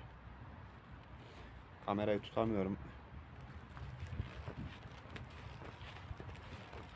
Videoyu da selfie çubuğuyla çekince haliyle biraz kötü çıkıyor ama yapacak bir şey yok. Burada Yine Büyükşehir Belediyesi'ne ait Konya Okulu'nu görüyorsunuz.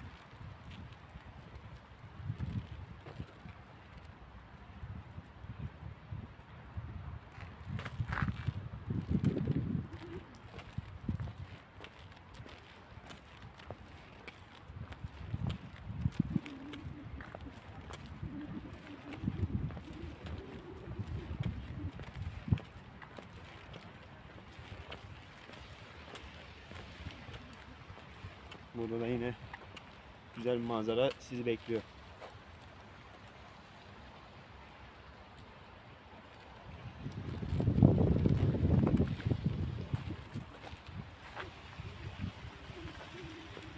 Sanıyorum bir 10 dakika sonra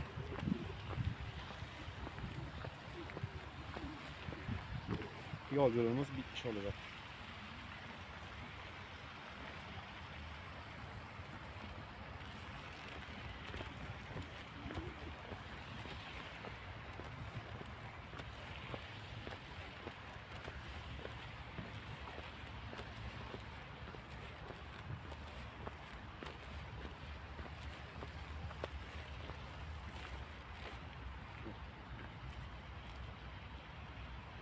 Gerçekten kolum çok ağrıdı.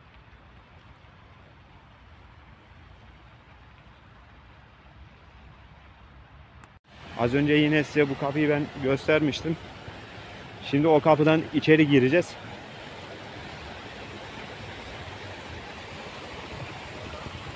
İçeride yine gerçekten çok hoş bir manzara var.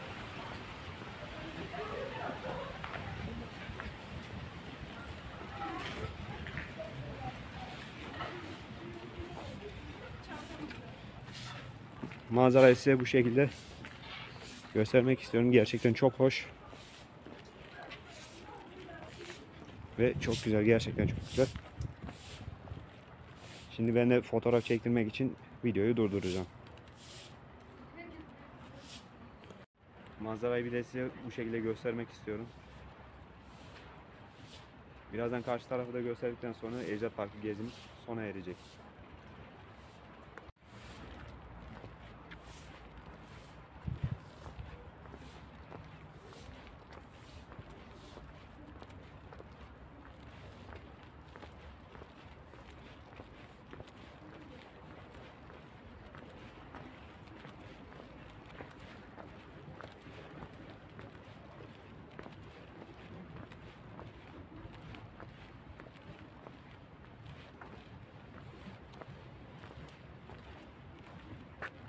Şimdi karşı tarafa doğru gidiyorum. Karşı tarafta deniz feneri de var. Onu göstereceğim. Daha sonra Ecdat Parkı gezimiz bitmiş olacak.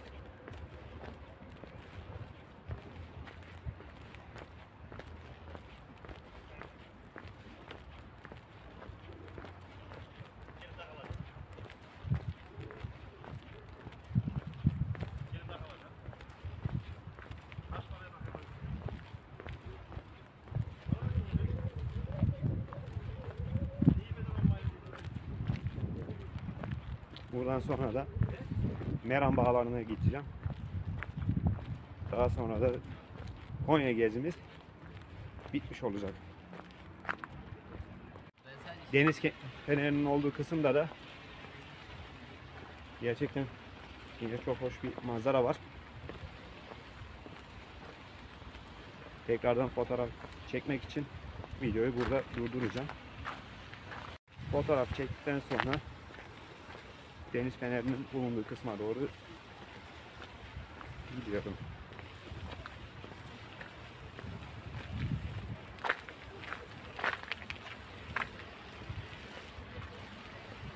İşte bu da deniz feneri.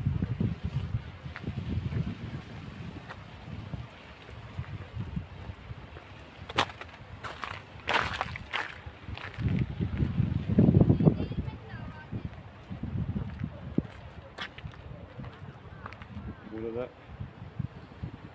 harika bir manzara yine sizi bekliyor. Bu şekilde göstereyim. Şimdi de birkaç tane fotoğraf çektikten sonra artık Ecdat Parkı'ndan çıkacağım. Ecdat Parkı gezimiz burada bitecek. Şimdi de Ecdat Parkı'na giriş yaptığım yerden çıkış yapıyorum. Daha sonra da otogara doğru gideceğim.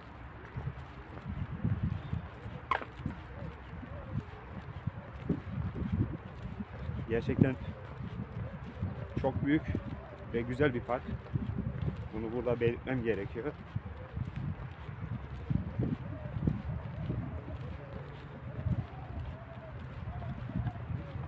Hemen yine sol tarafında bir adet mancınık göreceksiniz. Kamerayı çevirip şu şekilde göstereyim. Şu an mancınığı görüyorsunuz arka tarafında. Ve Ejder Parkı gezimiz burada son buluyor.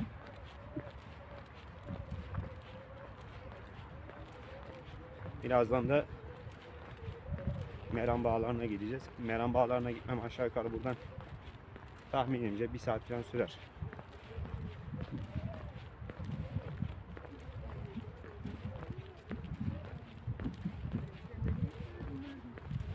Daha sonra da Konya videomuz bitmiş olacak.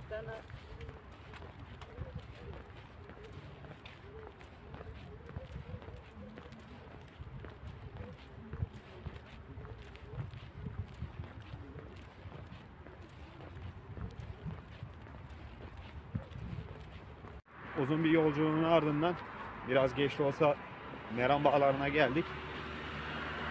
Meram Bağları gerçekten çok hoş bir yer. Ee, genellikle burası piknik alanı olarak kullanılıyor. Bunun dışında çeşitli eğlence yerleri de mevcut. Şimdi sizle birlikte Meram Bağları'na gideceğiz. Daha sonra da size kitap tanıtımı yapacağım.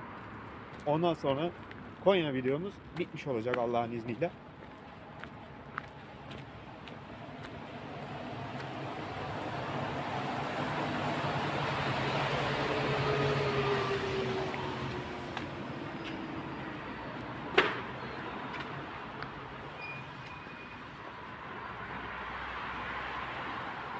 Şimdi ben kamerayı ters çevireceğim. Daha doğrusu arka kamerayı açacağım. Bu şekilde meram bağlarını daha net görebileceksiniz. Ve işte şu an meram bağlarındayız.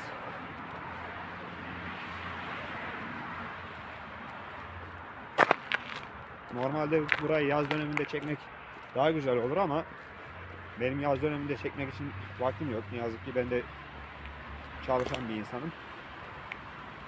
Ama meram bağlarının en güzel fotoğraflarını da tabii ki de yine videoya koyacağım. Şu alt tarafı hemen göstermek istiyorum. Burada normalde akarsu olur.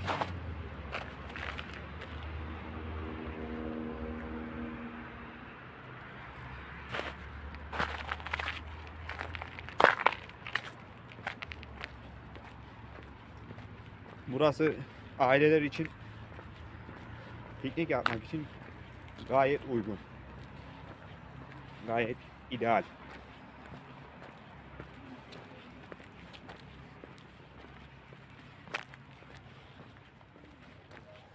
Eğer Konya'ya yolunuz düşerse Meram Bağları'na gelmeyi kesinlikle unutmayın.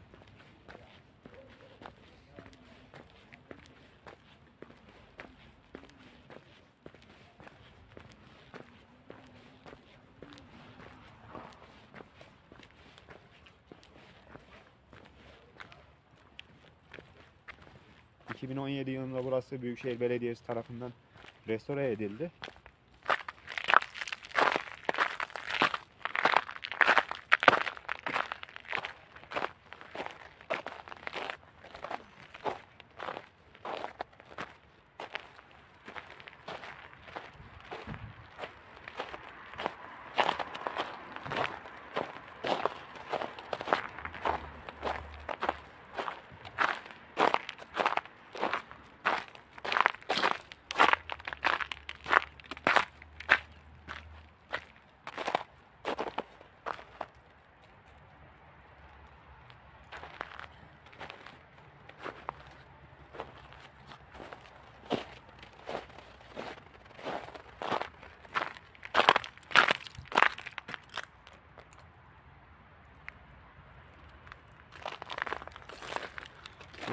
Karamanoğlu Mehmet Bey döneminde yapılan bir mimari var ama ne olduğunu bilmiyorum.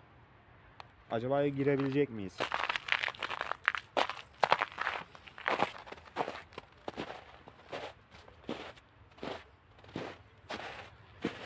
Gir bakalım.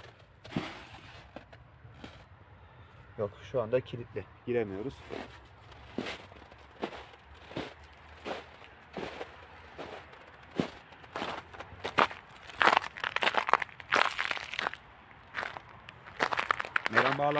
Hayat ilkbahar ve yaz dönemlerinde gerçekten cıvıl cıvıl oluyor. Ama benim ne yazık ki tekrardan kış döneminde gelmeye vaktim oldu. O yüzden pek bir canlılık göremiyorsunuz.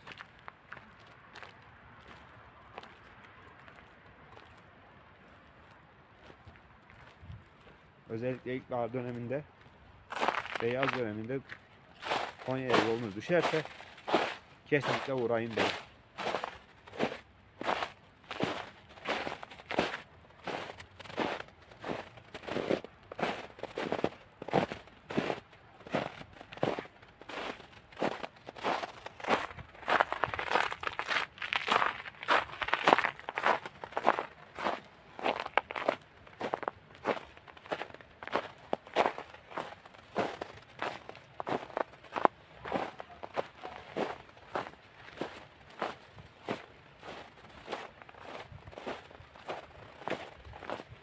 Birazdan Meram Bağları'nda üst taraflara doğru da çıkacağız. Aileler genellikle pikniklerini orada yapıyor.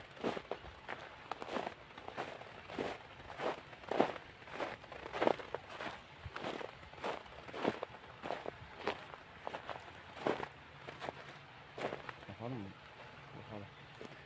Buradan girmeyi düşünmüştüm de kapalı burası. Tamamdır. Teşekkürler gençler.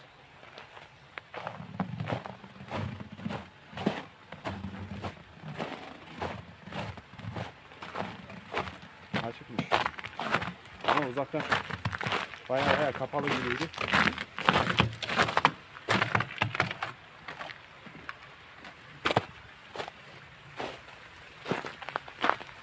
Ve buradaki akarsuyu da göstereyim hemen. Köprünün karşısında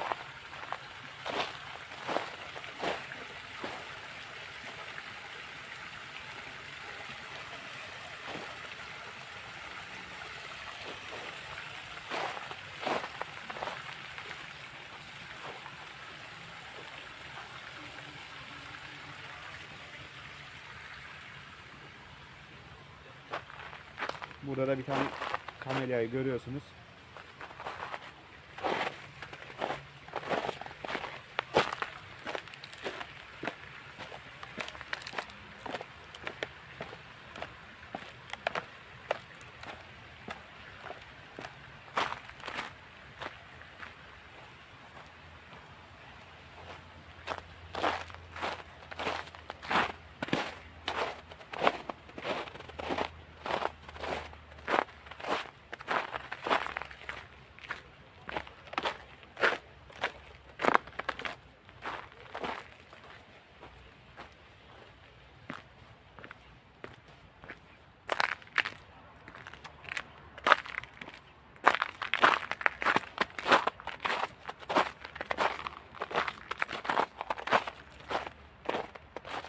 Burası az önce giriş yaptığım köprünün karşı tarafı. Şimdi biraz da yukarılara doğru gideceğiz.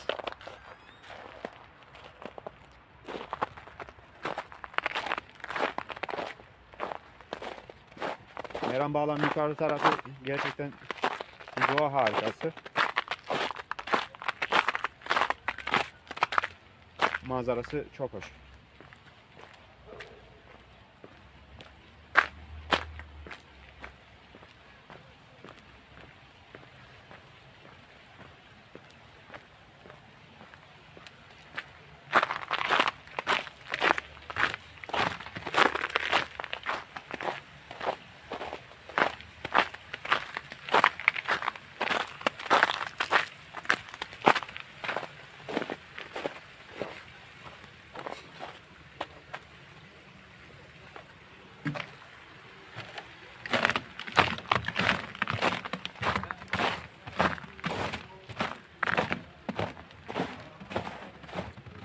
Şimdi yavaş yavaş yukarı doğru çıkıyoruz. Bu arada akşam vakti hava gerçekten soğuk oldu.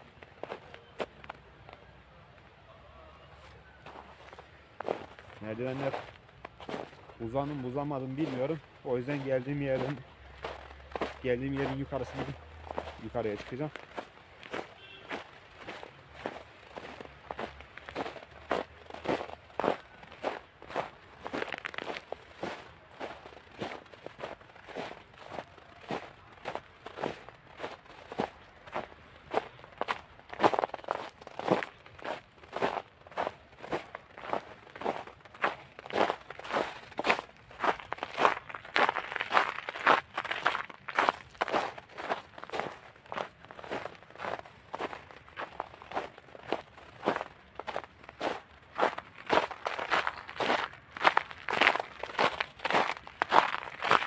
Burası kesinlikle Konya'nın en harika yerleri.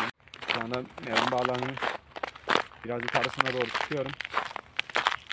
Ailelerin piknik yaptığı alanları da göstermek istiyorum. Gerçekten harika bir doğası var ama gösterebilir miyim bilmiyorum açıkçası.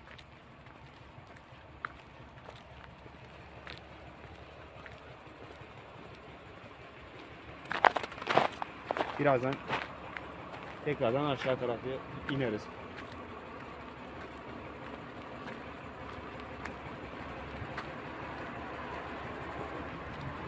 Buraya özellikle ilkbahar veya yaz aylarında gelmekte fayda var. Çünkü gerçekten cıvıl cıvıl oluyor. Ama benim kış döneminde gelmeye vaktim olduğu için sadece ancak şu an gelip size gösterebiliyorum.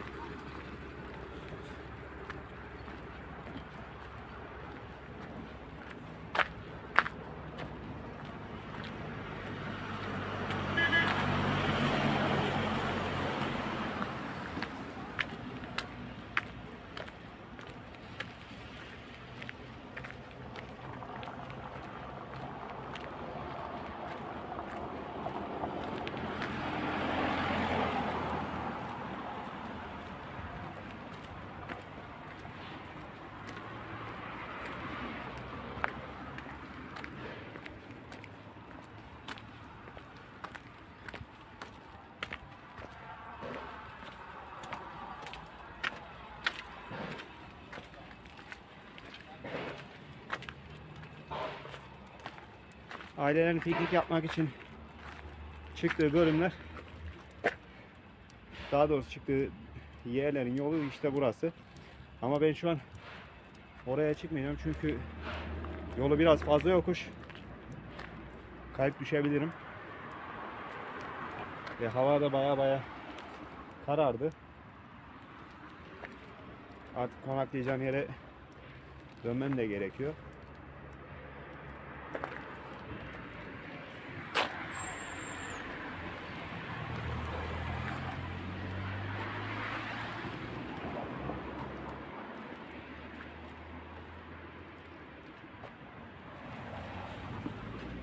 Eğer Meram Bağları'na yolunuz düşerse kesinlikle piknik yapmayı da unutmayın.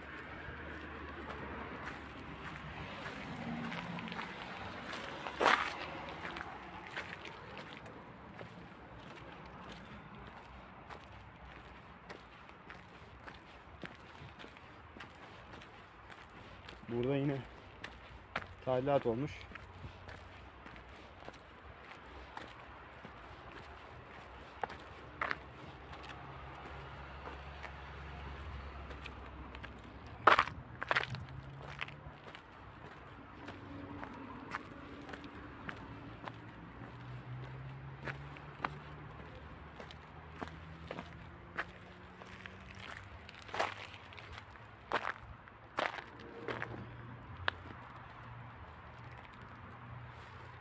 Meram Bağ burada da e, Tavus Baba türbesi var. Şu şekilde göstereyim. Yazıyı şu an göremiyorsunuz ama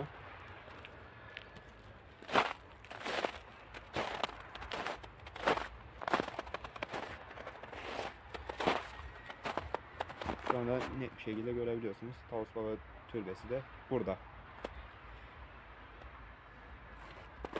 Biraz daha aşağıya indiğimizde de yine halk için yapılmış olan lavabolar var.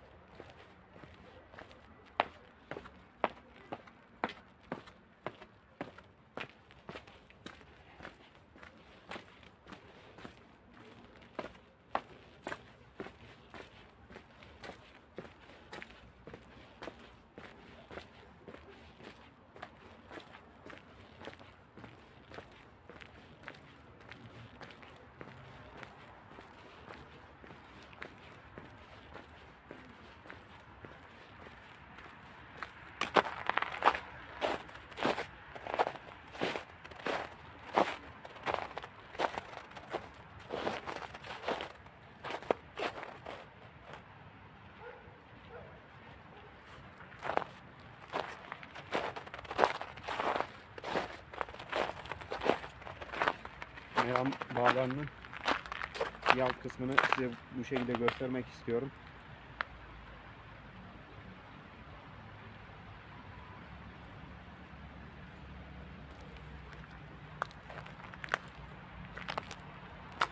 Şimdi yavaş yavaş oraya ineceğim.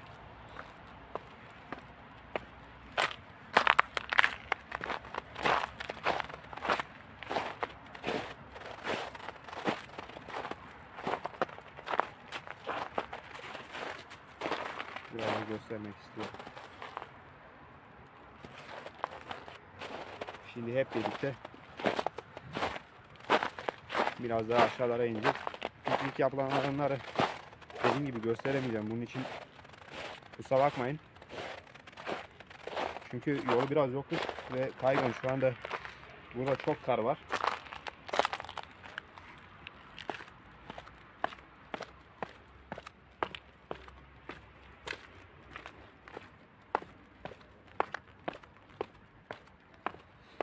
Şimdi aşağıya doğru iniyorum.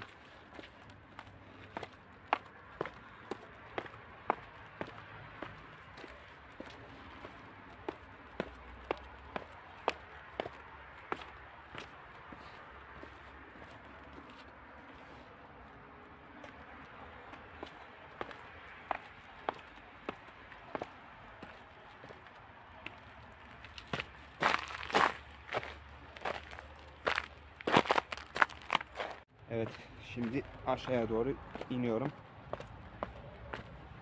Aşağıda gösterdikten sonra Meram Bağları gezimiz ve Konya gezimiz bitmiş olacak dediğim gibi.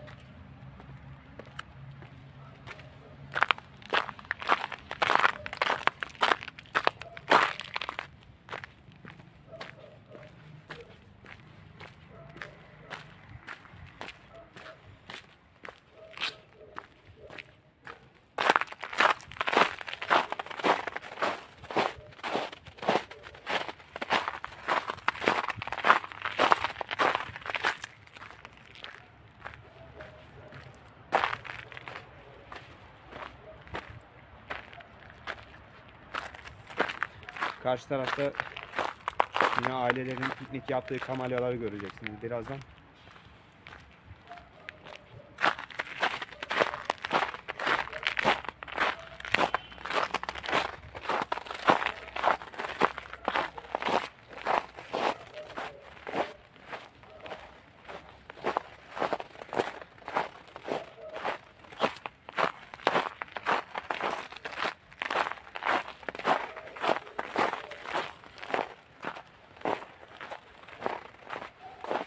Şimdi önümüzdeki köprüden karşı tarafa doğru geçeceğim.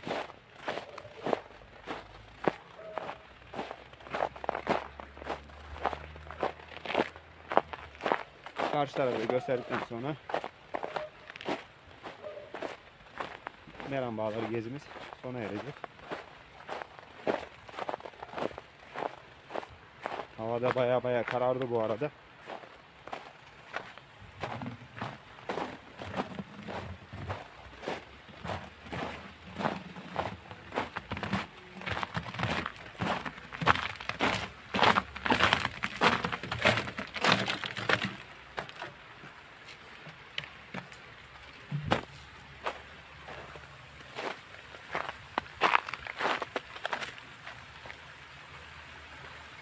size yine burayı göstereyim. Köprüde, köprüden geçtikten sonra burası bizi karşılıyor. Hemen üst tarafında da restoran var.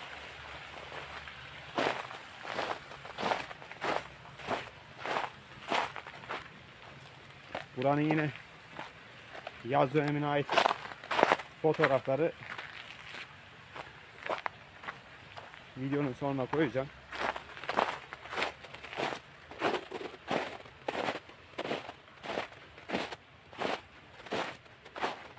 Ve işte ailenin piknik yaptığı kamelyalar bunlar.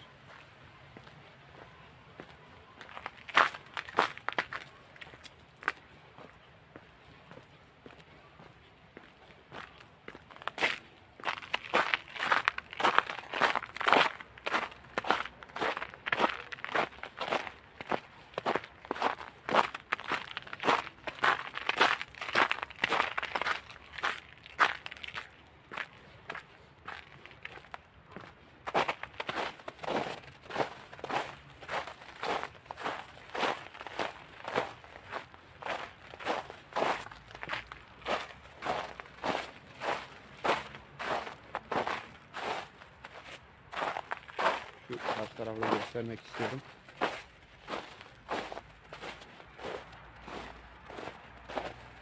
Burası dediğim gibi yazın gerçekten çok cıvıl cıvıl oluyor. Eğer Meram Bağları'nın güzelliğini görmek istiyorsanız buraya mutlaka ilkbahar veya yazın gelmelisiniz.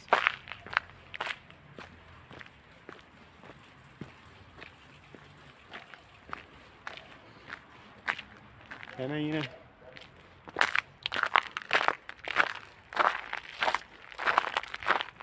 bu köprünün aşağı tarafını göstereceğim. Normalde burada akarsu oluyor sürekli.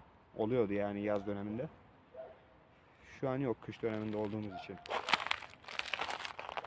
Ama gerçekten Meram Bağları'nın harika bir manzarası olduğunu söylemeliyim.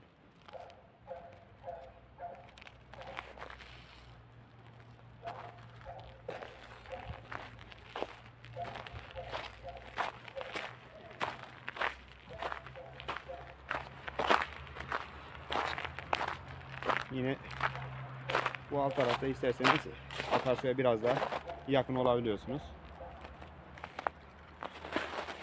Köprünün diğer tarafında da yine aynı yolun devamı var.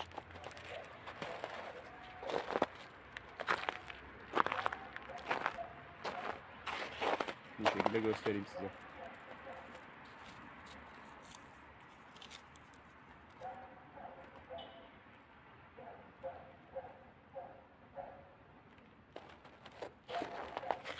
Ve son olarak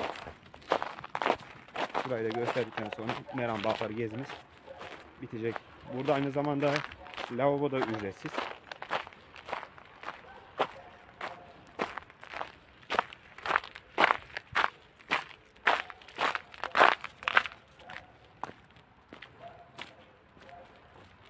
Buradaki bankları da size göstermek istiyorum.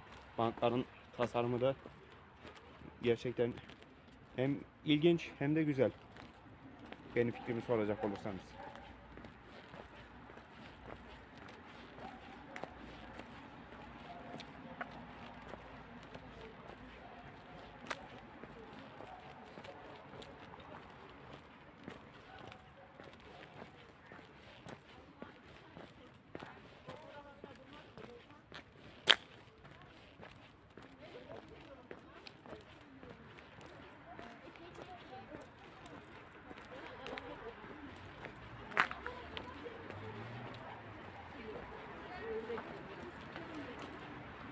Konya'nın sadece yemekleri değil aynı zamanda tatlıları da meşhur.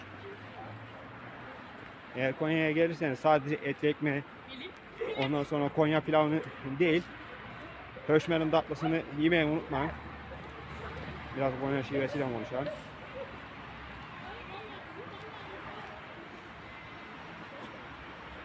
Bunun dışında Konya sarması var. Yine o da çok enfes bir tatlı.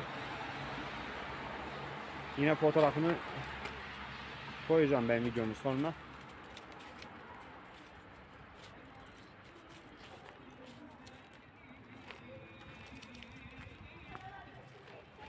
Ya artık biraz da fotoğraf çekileceğim. Daha sonra da videomuz burada bitecek. Konya bloğumuz burada bitiyor.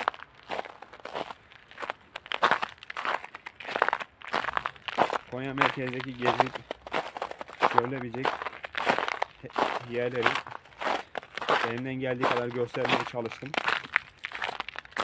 Sürçülisan ettiysem hepinizden özür diliyorum. Bir de Konya ile alakalı olarak şunu da söylemem gerekiyor. Ee, burada mesela günlük konuşma dilinde ne yapıyorsun demezler. Ne öğreniyorsun derler. Şimdi birazdan tanıtacağım kitapta da e, Konyalıların kullandığı e, kelimeler, hayır duaları vesaireler var.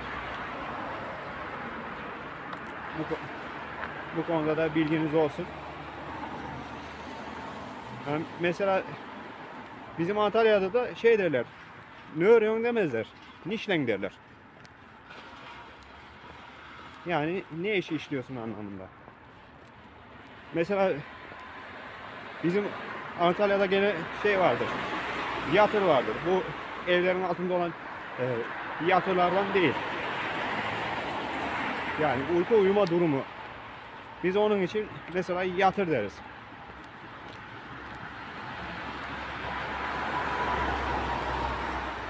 Mesela şöyle örnek bir cümle vereyim. Sen yatırsın dedi, sen aramadıydın derler mesela. Yani burada seni uyuyorsun diye sen aramadım anlamına getiriyor. Konyalılar da mesela ne örüyorsun diyor. Yani dediğim gibi gerçekten hani gezilip yaşanılacak bir yer. Onu söyleyeyim. Meram Bağları da Konya'nın Meram ilçesinde bulunuyor. Kamera biraz daha güzel tutmuş şekilde. Hava karanlık oldu. O yüzden şu an beni net göremiyorsunuz. Meram Bağları dediğim gibi Konya'nın e, Meram ilçesinde bulunuyor. Kesinlikle Meram Bağları'nı gezip görmenizi tavsiye ediyorum.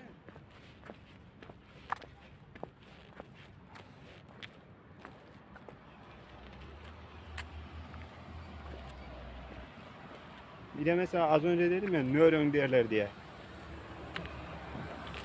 Ondan, ondan sonra şey diyorlar nöreyim. Şunu şunu yapıyorum artık yaptığı iş her neyse. Sen nöron derler. Ben gerçi Konya şivesini pek beceremiyorum ama bir elimden geldiği kadar söylemeye çalıştım.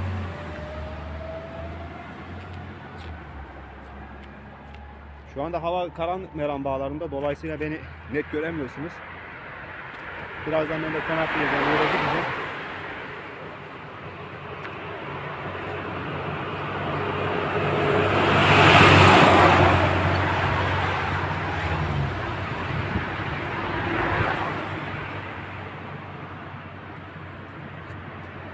Dediğim gibi Konya'ya geldiğinizde Devrana'yı Nasrettin Hoca'yı ziyaret etmeyi unutmayın. Bunun dışında etli ekmek yemeyi, Konya pilavı yemeyi, höşmerin tatlısını yemeyi, ondan sonra Konya sarması yemeyi unutmayın. Bunlar hep Konya'nın özel lezzetleri. Bir sonraki videoya kadar kendinize iyi bakın.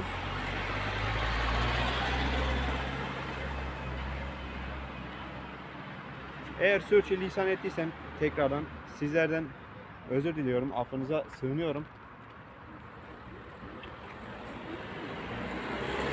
Eğer bu tarz videoların devamının gelmesini istiyorsanız YouTube kanalıma abone olmanız yeterli.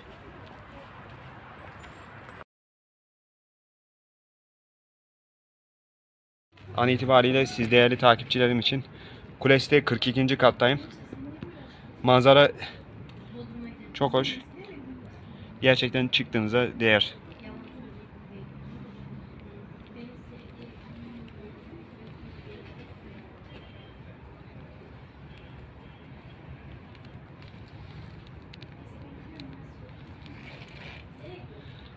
Buradaki dürbünden de daha yakından izleyebiliyorsunuz. Şimdi biraz daha açıyı değiştiriyorum.